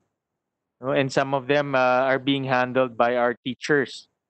But how many of those are uh, how many of those require interventions? Uh, for now, Your Honor, I cannot give you an answer because uh, enrollment is still going on. But uh, when we'll be able to um, get the number, the total number of enrollment, and identify the our the children with disabilities who are um, who are enrolled and their respective um, uh, disabilities, then certainly, Your Honor, will be able to provide you. But I'd like to mention, Your Honor, that uh, home visits may not uh, just be done to children who cannot just manage their own learning. They will certainly be the priority. But our children with disabilities will certainly be visited also. Uh, they'll be included in the, the, the, the route also of our uh, SPED teachers, Your Honor. Yeah, I would like to, uh, uh, Director, I would like to uh, again emphasize to the Department of Education to uh, try as hard as possible to reach out to our children with disabilities. Uh, this COVID has tremendously marginalized our children, more so children with disabilities because nakita naman kanina natin dun sa PIDS, uh, they encounter a lot of uh, inherent um, challenges. No, for example, mobility is one, accessibility of schools is another one, finance uh, challenges, financial challenges is another. Uh, in the list of PIDS, these are inherent for families with children with disabilities. So, um, I like to uh, again emphasize to DepEd to uh, uh, make sure that they are not left behind. And um, uh, I, I know for a fact that the um, uh, divisions are ready to help, but uh, we need some guidance and direction from DepEd Central to mobilize them. We just need to try our very best to reach out. Uh, kawawa naman sila if we don't uh, reach out to them. Mr. Chair, may I make an Yes. Yes, uh, Senator Pia. Thank you. Mr. Chair, um, since we have a lot of, um, we have representatives from uh, DepEd and uh, experts from UP, and NGOs here, I'd like to just share that uh, uh, in, in a couple of hearings that I chaired and attended. So yesterday, there was a hearing on uh, the Committee on Urban Planning on one of the bills I filed, which is Sustainable Cities and Communities. And then in the other hearing that uh, uh, this committee uh, is um, also is a part of on uh, the future of education, um, it has become very clear that we really make, need to make changes to adapt to not just the new norm, but alternative futures. So as we discuss this bill, Mr. Chair, I would like our resource persons to really give us a wish list. We know that it's not quite possible, no, especially with the pandemic that we're dealing with, to find the funding for all of that. But I believe it's very important that we have a vision of these possible futures, and it should be good futures, no, that we are preparing for, um, so that those who are most vulnerable, and that includes uh, the children with um, disabilities, special needs, and the like, uh, they will not be as marginalized as they already are. So, in other words, we can prepare for these futures, and these futures would include another pandemic, it will happen again. It will include natural disasters. It will include economic crisis. Sa tawag nga nila, sa crisis over a crisis. What safeguards can we put into place that would allow them to continue to thrive or in the worst case scenario, not get left behind. So um, the one one takeaway I had from the hearing yesterday was it boils down also to the importance of health. So can you imagine if a child with special needs uh, already has so much difficulties and then has to deal with COVID, hindi nga makalabas, hindi man lang makapunta dun sa therapy place niya. Sabihin mo nang meron siyang one-on-one classes, hindi naman makarating yung kanyang teacher, yung kanyang therapist.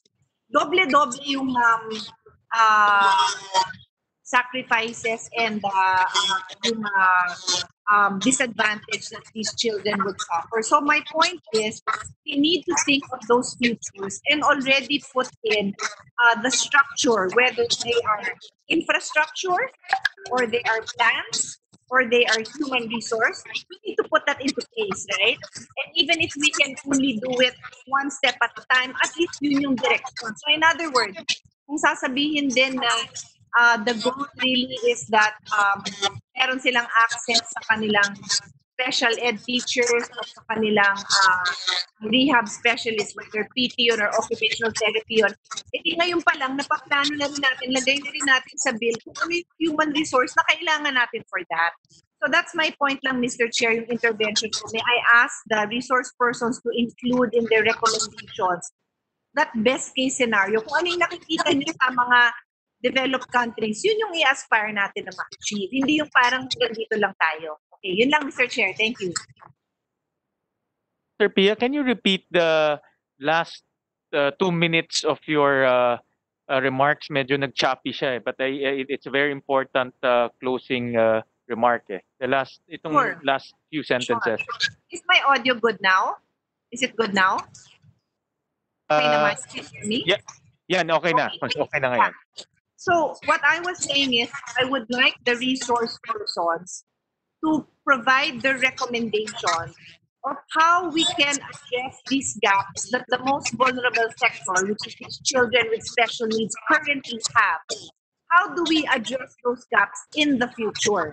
And since we are we know for a fact we cannot address this overnight, we cannot address this in one year, but we can have a long-term plan. Okay, that's precisely what sustainable education is about. That is what the future of education is about. That we know what those alternative futures are like. Like what if it's a future that has a lot of health problems, no may pandemic pa, or it has a, um, natural disasters.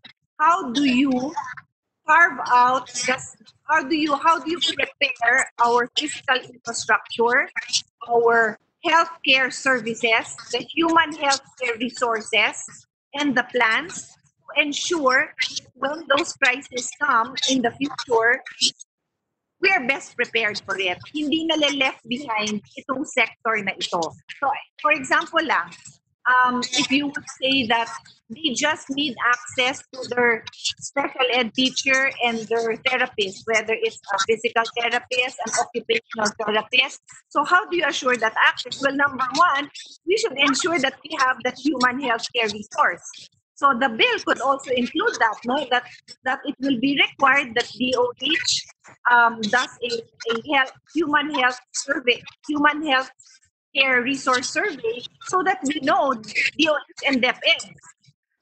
We know how many SPED teachers, how many um, health inter- intervention specialists do we need. Kasi di naman tayo makakapag-move forward, hindi man lang natin alam yung numbers, yung numbers na yon.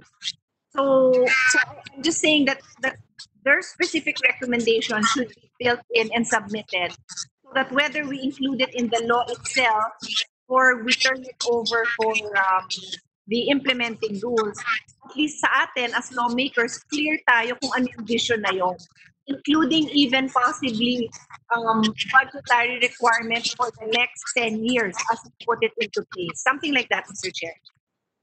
Thank you. Thank you, Senator P. I do agree that uh, um, we cannot stop just because we don't have the budget or the numbers or the requirement looks staggering. Uh, we, what we need is a vision and an organized process to achieve that vision, whether next five years, next 10 years, uh, but reducing that into a law gives us a direction. Eh. So I do subscribe that and uh, I would like to uh, encourage our resource person to um, submit to us the um, uh, the uh, requirements from Senator Cayetano so we can consider that also in the bill and also in her proposed measure in um, the uh, Urban uh, Development uh, Committee. And um, you also have some friends from the Deaf Education Council represented by Dr. Uh, Liza Martinez first of all apologize for uh, not providing an interpreter during the first part of this uh, hearing. Uh, I sincerely apologize for that, and I take full responsibility uh, for not providing the uh, necessary um, interpreter. But I would like to thank uh, Ms. Ember Parpa for joining us in the middle of this uh, um, uh, hearing. Um, he, she is the secretary of the Philippine National Association of Sign Language Interpreters. So thank you, Ma'am Ember, for uh, joining us. And uh, we recognize now um, Dr. Liza Martinez, who represents the Deaf Education Council. Ma'am, you're recognized po.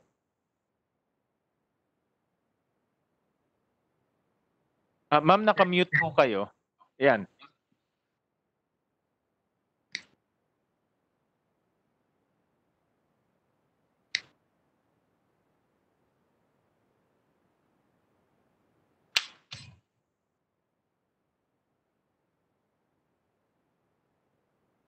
Ma- yan, okay na ho. Yan, yan. Okay na. Okay na po? Yan, we can hear you. Okay. Um, thank you for giving us the opportunity to share some input. I- I'm sorry I could not accommodate the request to be the interpreter because the discussion is too important and I, I cannot take on two roles because I don't understand anything. Um, we submitted a statement from the Deaf Education Council and uh, it is specific to the deaf. But I and other members of the council, as well as uh, Caroline Dagani, who is here as the president of the Philippine Federation of the Deaf, um, Yvette Corrado, and uh, Ruela who are all deaf, are all members of the Deaf Education Council, um, are all in full support of colleagues who have mentioned cross disability inclusiveness because of the UNCRPD. So we are very definite about that and all of the various cross disability concerns which have been raised by the DSWD, by the ECCDC, uh, the PIDS for literacy concerns. But despite this, we would like to highlight that deaf learners are in quite a unique position, which I tried to explain in the past uh, TWG. Um, deaf learners are already protected by three laws regarding their education. These are landmark laws. And it is a tragic reality that despite this, and this might be the fourth law, which will include uh, deaf learners, despite this, many times deaf people feel that they are still left behind. So I think, Mr. Chair, there is a huge challenge for this law not to be the fourth law which doesn't work. Um, and it is important to take two perspectives. I have four points that I'd like to go through quickly. I know that there are other people who want to take the floor. We have very specific recommendations in terms of the phrasing of specific sections. And we base this on Senate Bill 171, uh, sections 2 to 4, 6, 12, 15, 17, 18, 21, and 22. Those are details, but the principles that I would like to emphasize right now are one, you were you were asking about terms early on in the meeting. And unfortunately, this will complicate that concern much more because deaf people by two unique um, categories. One is that they are considered as children and learners with disabilities and are therefore entitled to all the recognition of their rights according to the CRPD and all related domestic. And the other one, which is not commonly known and recognized, is that deaf people are legitimate members of a language group. Therefore, they are aligned much more closely with the indigenous groups because they have their own language and culture. And the third law is RA 1166, Filipino Sign Language Act. It's very explicit about this. That just needs to be implemented. We need to get the IRR going. But that is a very critical recognition because no other impairment group has this many domestic laws and has a very clear cross-sectional uh, intersectionality with language and culture. So that that is that category. So we're talking about children with special needs, learners with disabilities. Then you just have the category of the with the big letter D, which is a cultural category. So this is unique and, and this is a challenge. That's the first point. Um, the second point, and, and I am in full agreement with what the Honorable Senator Pia Cayetano has just described in terms of looking at the landscape as of now. And I was actually looking for, and I was a little bit disappointed that uh, the chair's um, proposed House Bill 1565 on the new normal education was, was not included here. And I am hoping that the concept of inclusiveness should start as early as now while we are still in crisis. I am also looking at it in the context of, for instance, in the House, because of the fast tracking of the new normal or the better normal bill actually includes very pertinent uh, sections to what we are discussing. In addition, we're Senate Bill 1 by Senator Lapid based on a very strong by the sector regarding disability allowances, a monthly social pension, which we are talking about finances and how do you finance all of the many diverse needs the various impairment groups. So all of this, I think this is the challenge that we need to look at everything. Education is not going to proceed by itself or in a vacuum. It needs to be in the context of everything which is happening around us. And one of this, uh, which has been uh, included in one of the Senate bills, is the hiring of deaf teachers. And we haven't talked a lot about the human resources in terms of, well, we've talked about them in general in terms of support and the learning resource centers. But there is a there's a big catch in our, for instance, the blended learning that the DepEd is proposing, in that if you are getting members of the family, for instance, to facilitate learning at home, many of the parents don't know how to sign.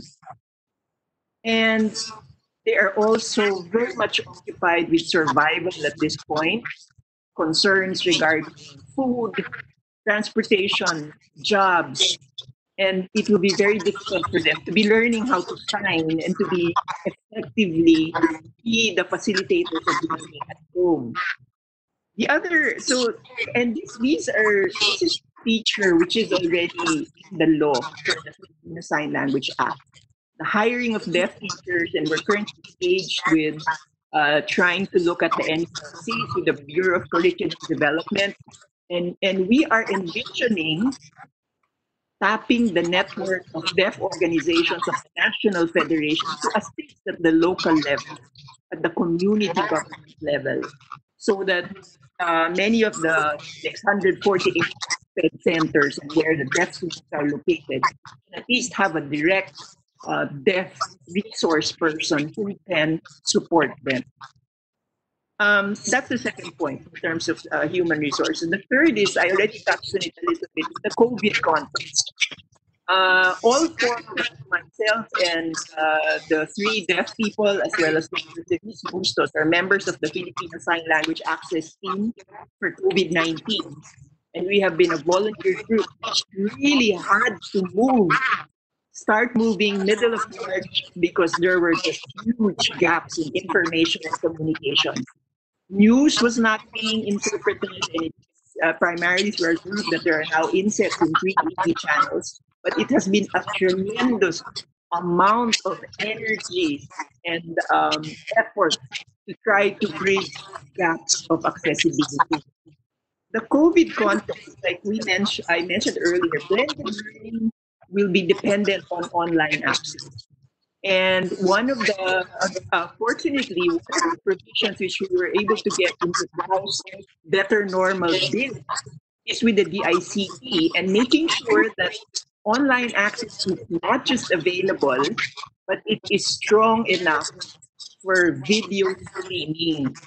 Kasi po, ang pag-senyas will really be dependent on video. In fact, the expense for data, video, is many times higher than just regular online access.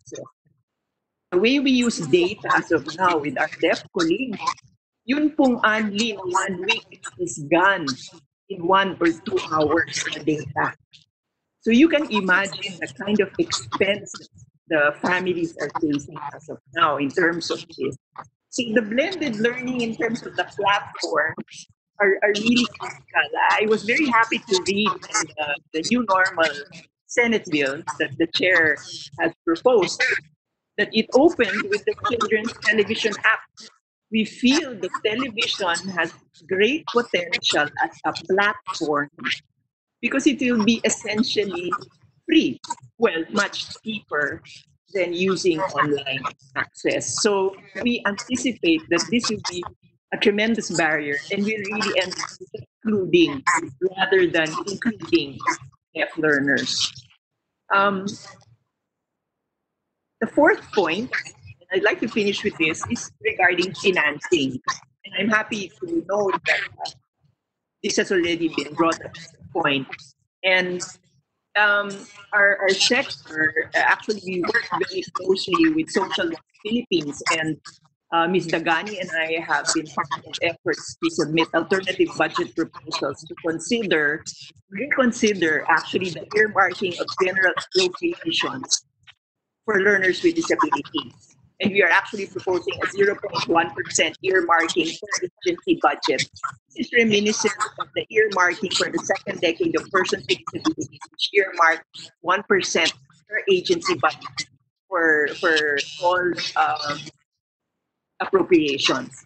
This is also to note that it has been in as a, as a general provision of the GAA annually that each agency, including the DepEd and the DICT and the DSWD and the, the DOH and the DOLE, need to include in their mandated plans um, services for persons and learners with disabilities in terms of DepEd.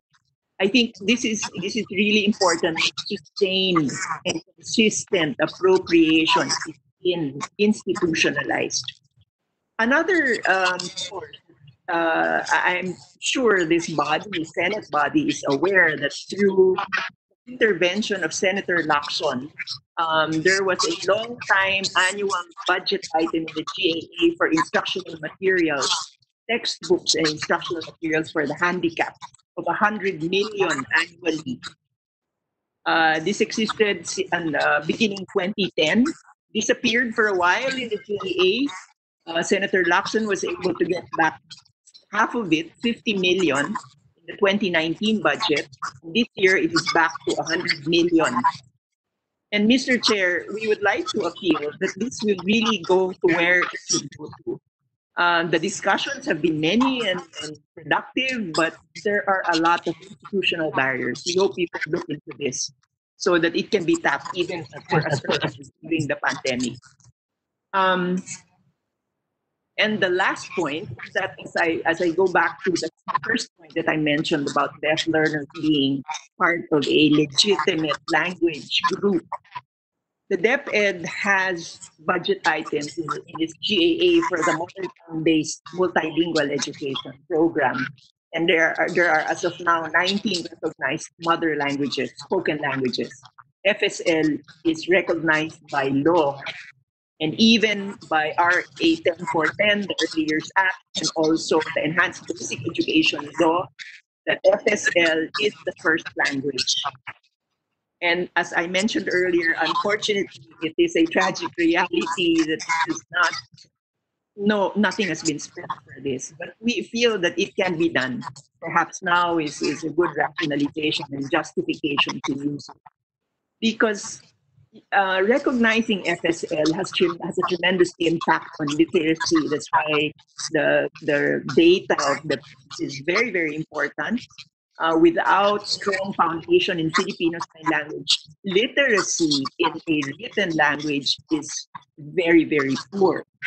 And we know we found this out by experience. In mid March, when we started working our FSL access team for COVID 19, our efforts in trying to get DOH information regarding what COVID was, how do you protect yourself, what are the symptoms, what do you do, it was multiplied three times, four times as much because we had to work with Filipino information materials.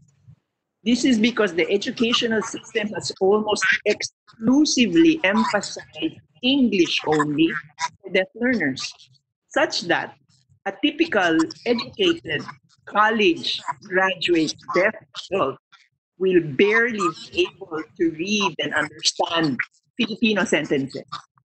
This is a tragedy, not just for literacy, not just in a pandemic when your life depends on understanding information, but just for general employment opportunities.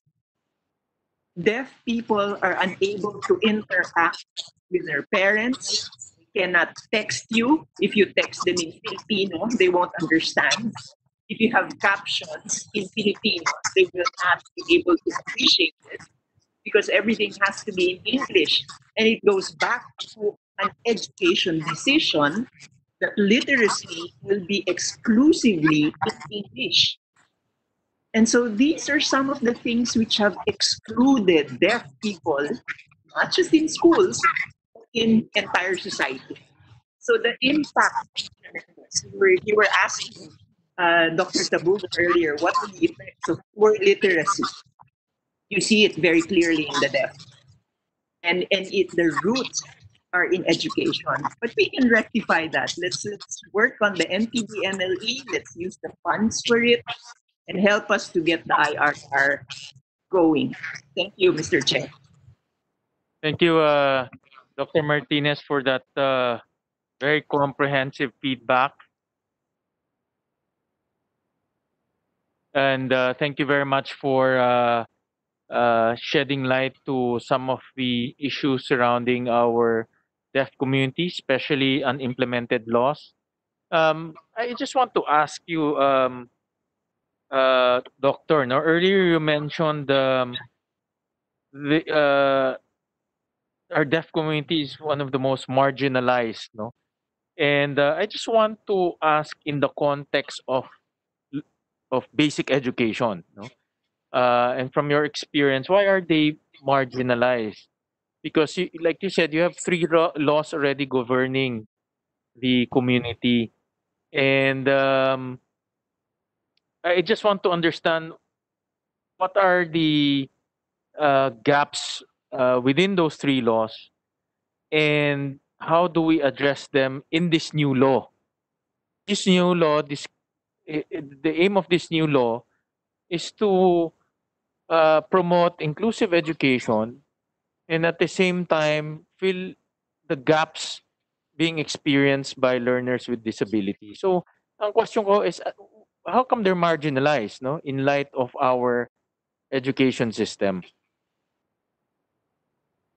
Mr. Chair, as, as far back as 2005, which was already uh, 15 years ago, the Philippine Federation of the Deaf established the National Sign Language Committee as a response to then Secretary Raul Roco, who had a consultation with deaf leaders and asked them what's wrong with education for deaf people.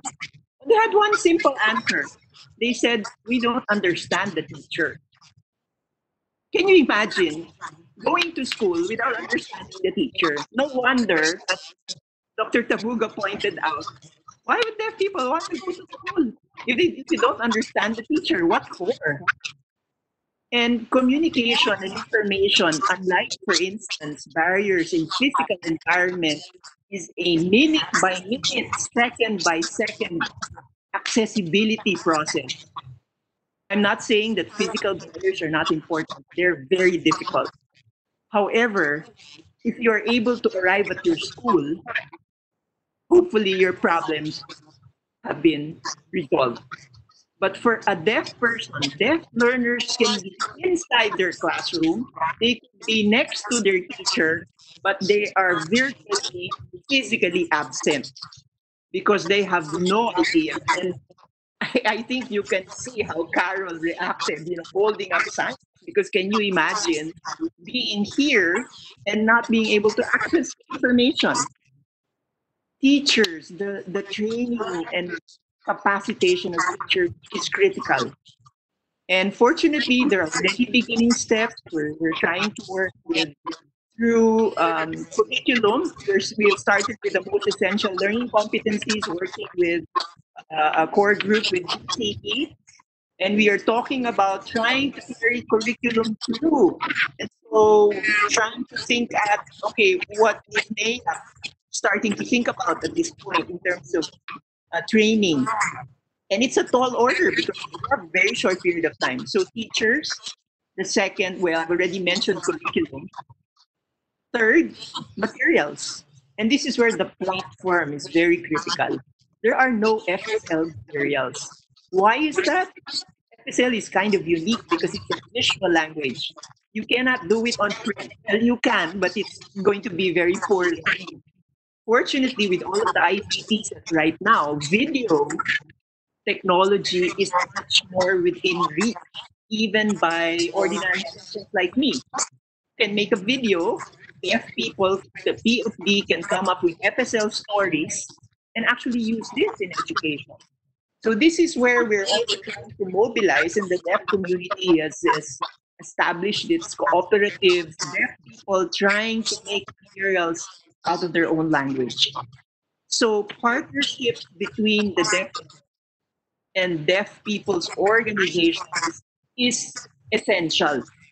If there is no capacity within DepEd or TESDA or CHED at this point to look at FSL as a true language, as a visual and a space, spatial, three-dimensional language, deaf people have to be part of the process because it is their language. And this is how we have been tweaking the MELCs the Deaf Education Council. We have looked at all of the, uh, well, just for the mother tongue, looking at all of the about 200 learning competencies and see whether these are appropriate or not for deaf people and for FSL as a visual language. So, kung yun lang po, matumbok natin, teachers, train them, retool them if necessary, train the young teachers so that they become signers. And Dr. Therese Bustos mentioned something earlier, which is very critical and it, which is actually in the law, to have deaf teachers and or local government deaf teacher aides so that there is a role model inside the classroom so that the teacher, maybe a hearing teacher, might be attending to everybody else in the classroom, might not know how to sign, and if there's no interpreter, but if you have a deaf adult there, a big part of your problems will be solved.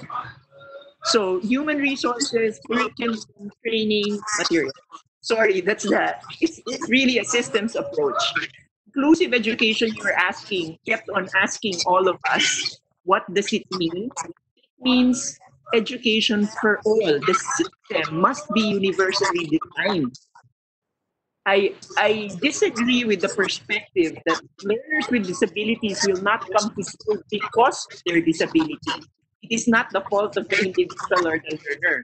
It is because the system is not universally designed to be able to accommodate them. So if I were deaf and I don't understand my teacher and I'm just going to sit there, maybe I won't be motivated to go to school. And maybe the parents will just say, ay, wag, wag na lang ikaw ang pumasok, yun na lang kapatid mo na nakakarinig. Kasi mas nakikinabang sila. And that's a that's a tragic reality, and this is documented by research. Thank you, thank you, Dr. Martinez. Uh, I would like to open the floor now to the uh, other resource persons who would want to uh, uh, comment on the bill or uh, expound on their position paper. Uh, we've invited some um, resource persons to join us in the conversation. So I would like to open the floor. Anyone who wants to um, to, to, to discuss uh, points on the uh, meron pong uh, meron pong uh, who wants to uh, comment on the bill po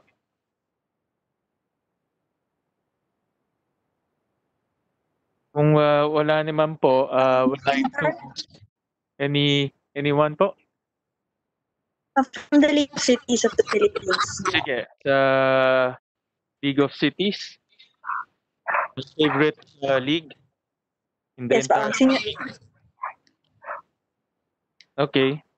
Ay, good, afternoon po, Mr. Chair. Um, we'd just like to reiterate our the Go go ahead. Special Education Fund. Yes. Um, so um, we would like to reiterate that we support the language of SDN 5569 and 171 year bill Senator because it's less prescriptive that it says it may allow portions of the UNICEF compared to other bills which mandate UNICEF. So we want to promote use of, of local autonomy for, of, for use of SEF, especially now with so many educational needs of our children. So it is up to the LG to decide um, what are their priorities for education. So support the language of bills which are just suggest that the may be used along with other um, along with other funds such as the general fund and the development fund to cater for the needs of the children. So we would like to manifest that again for the consideration of the committee. Thank you. So you you you what you're saying is you support the word may. Yes, may instead of shall. Okay. To okay. We we uh, take note of that. Any more uh, comments from the body? If uh, meron pa tayong comments. Yes, Mr. Chair. Uh, Sir. Micah, and then I recognize Sir. and then, uh, recognize uh, Micah. You go ahead, and then we recognize Julie. Thank you, Mr. Chair.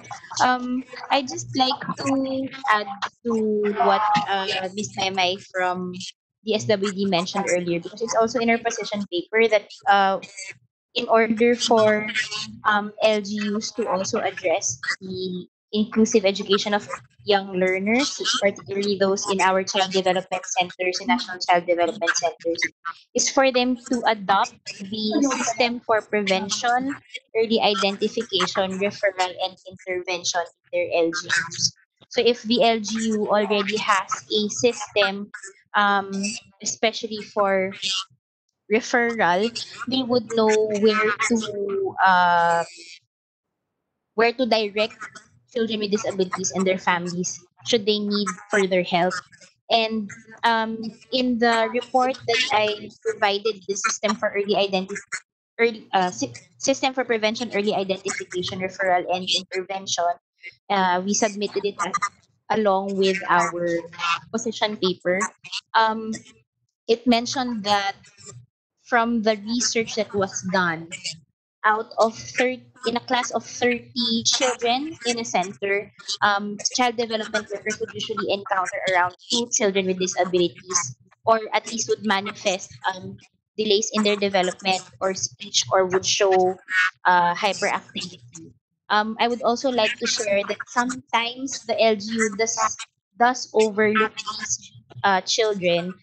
Um, we have had experience with LGUs admitting that they have had um, mainstream plans for uh, animals, for uh, for their uh, elderly, but not necessarily for children with disabilities, especially in the early years. So I think if they would could include that they adopt this system, uh, I think it strengthens also um, what the ECCD Council has already started uh, in accordance with MAPI.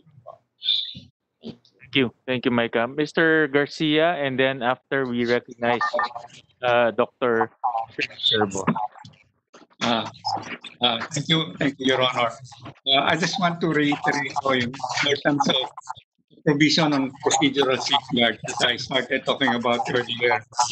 Tingin no namin is this will be the section in the law that will spell out how the educational rights provided to children and parents under this law will be protected.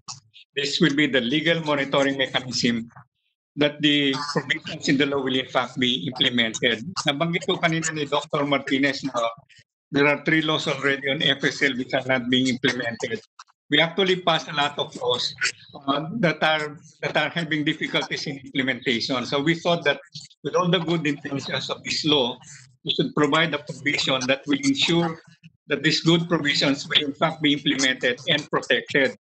Nabanggit ko kanina yung IEP, but the provision will not only cover IEP but will cover all areas related to the provision of free and appropriate education.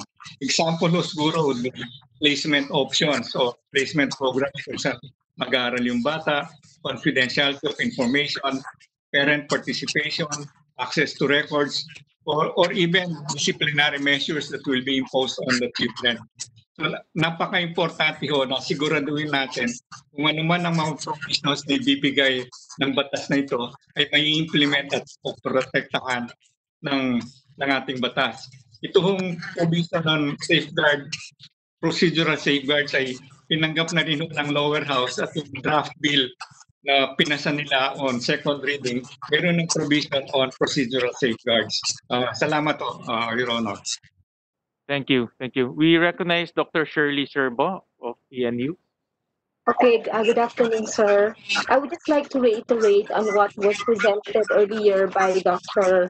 Custodio. I would like to reiterate that it is really important that the resource center be connected with the teacher training institutions.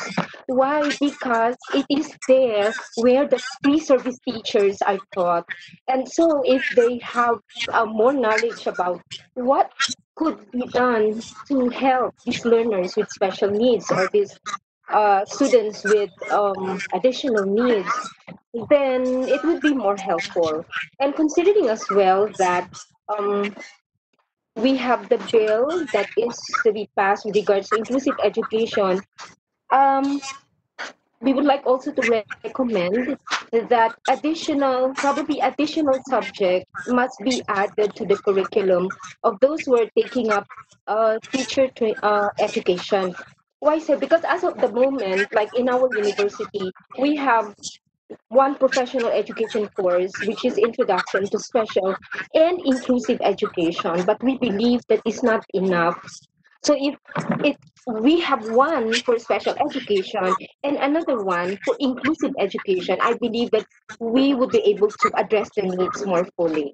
And then lastly, uh, it's good that we really have to capacitate the teachers as regards handling learners with um, additional needs. But the point is, considering the fact that we are now in the pandemic, is the parents who also should be capacitated how in their own ways, they would be of help as regards the condition of their children and how they could be capacitated so that learners with special needs will continue learning and will not be left behind, considering the situation that we have now.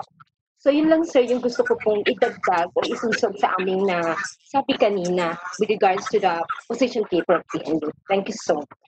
Thank you, thank you. Uh. And our last uh, um, uh, person to comment is Miss uh, Dagani. Or uh, Caroline Dagani. Oo. So si Ma'am Ember po ang mag uh, Can we highlight Miss Dagani?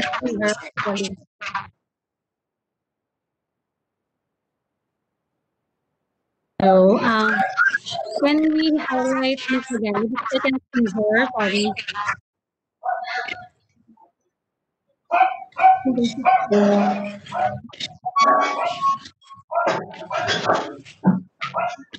Where is Miss Dagani? Okay, I see her na po. Sige.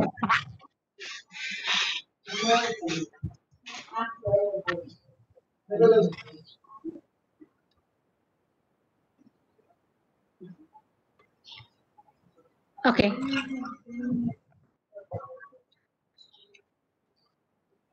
Wait lang. Higher really Okay, go. Good afternoon. And um, I have some concern about the death. Sorry, sorry.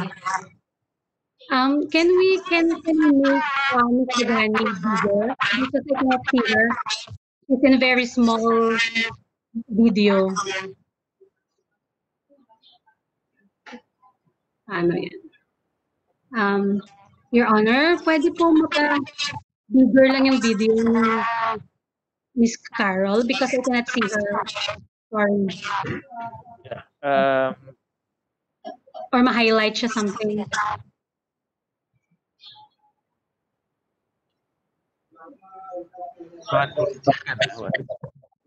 Sorry.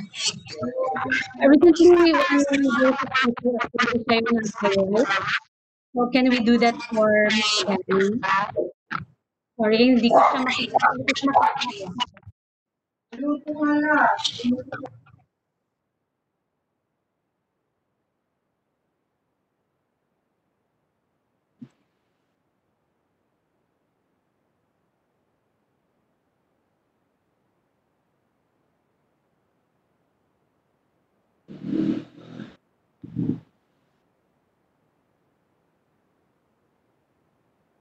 So Lisa, I can see you have a video. Um, you need to pin the video. Um, there's an icon. If you click on it, you will pin Carol, so her frame will be there.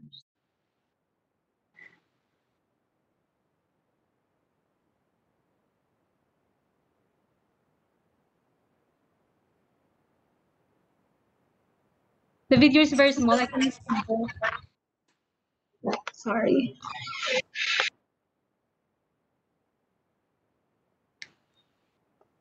Okay, sige po. Sige, try na lang po.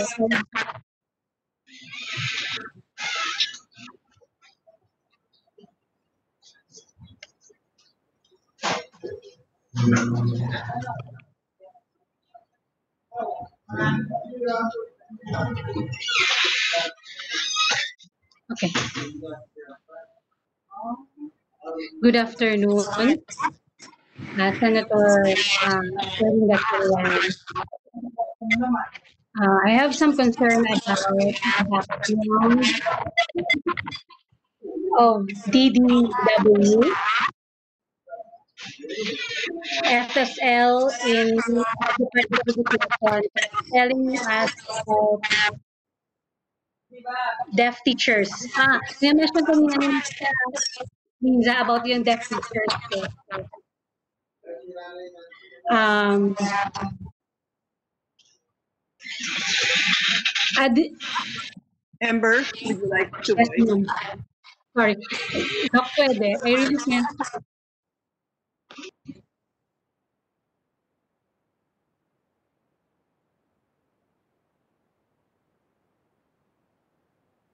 Uh, good afternoon to all. I have a concern regarding Republic Act 1106, which has a section, section 4, is Filipino Sign Language used in education. We should be hiring deaf teachers. There are many, many graduates in education with a course in education nationwide in the Philippines, but many of them fail the licensure exam for teachers. Why is this? Because the, the standardized test is not matched to the competencies for which deaf graduates are prepared. There are Filipino items, vocabulary there's music questions, so they fail the LET. So this is not does not give a fair chance to deaf education graduates and ensure the deaf teachers who will be teaching our deaf children. There are many, many hearing teachers who pass the licensure exam, but they do not know how to sign. And they are learning sign language as a later language. If you are able to give a chance to deaf teachers who are education graduates, then they deaf their impact, the influence of deaf learners can be very, very effective. But they're stuck with these institutional exams. So we need this kind of reform so that deaf teachers can enter the education system as teachers. Throughout Luzon, Visayas, and Mindanao, we have many, many deaf education graduates. They just give up. The exam is not fair for deaf takers. They end up as tutors who take very low paying jobs, even as college graduates, because they are unable to pass the LET. And this is this is not inclusive at all. This is an institutional barrier. And so it is important for deaf teachers. The same for interpreters. There is a problem for accessibility of information. Very frustrating for us. This is discriminatory, even for teachers and interpreters. And I have gone to many different schools nationwide, and there is I can see all of the frustration, the marginalization of these persons. So please, can you please assist us in reforming the licensure exam? And this actually is in the IRR for National Act. Because these subjects in, in college are, are very important the courses that they take as part of the teacher preparation program. Another concern that I have is regarding FSL materials. We are stuck regarding production because of procurement policies. Because FSL is a visual language, is unable to hurdle barriers of procurement. So for RA 1136, it is important that persons with disabilities are included. And so we are actually proposed that a certain percentage of material should be used for the development of Filipino Sign Language materials. We have tried to propose the Department of Education for the production of FSL materials, which this was thumbed down. And we are stuck because all of these institutional policies on procurement. They only looked at FSL materials as supplementary material. We were stuck and frustrated. Please understand that this concern for, for hearing people, we have tried to discuss this and make materials. There are many of them who produce materials, but they don't include deaf people. They are essentially creating, and inventing materials, and they are marginalizing us. We are unable to participate as deaf persons. And so learners are unable to improve in terms of their learning process. You need to include us and deaf teachers as well. There are many deaf teachers who are very skilled and competent. Please help us. So that DepEd will also give a chance and give a voice to deaf people. We tried our best to advocate for this.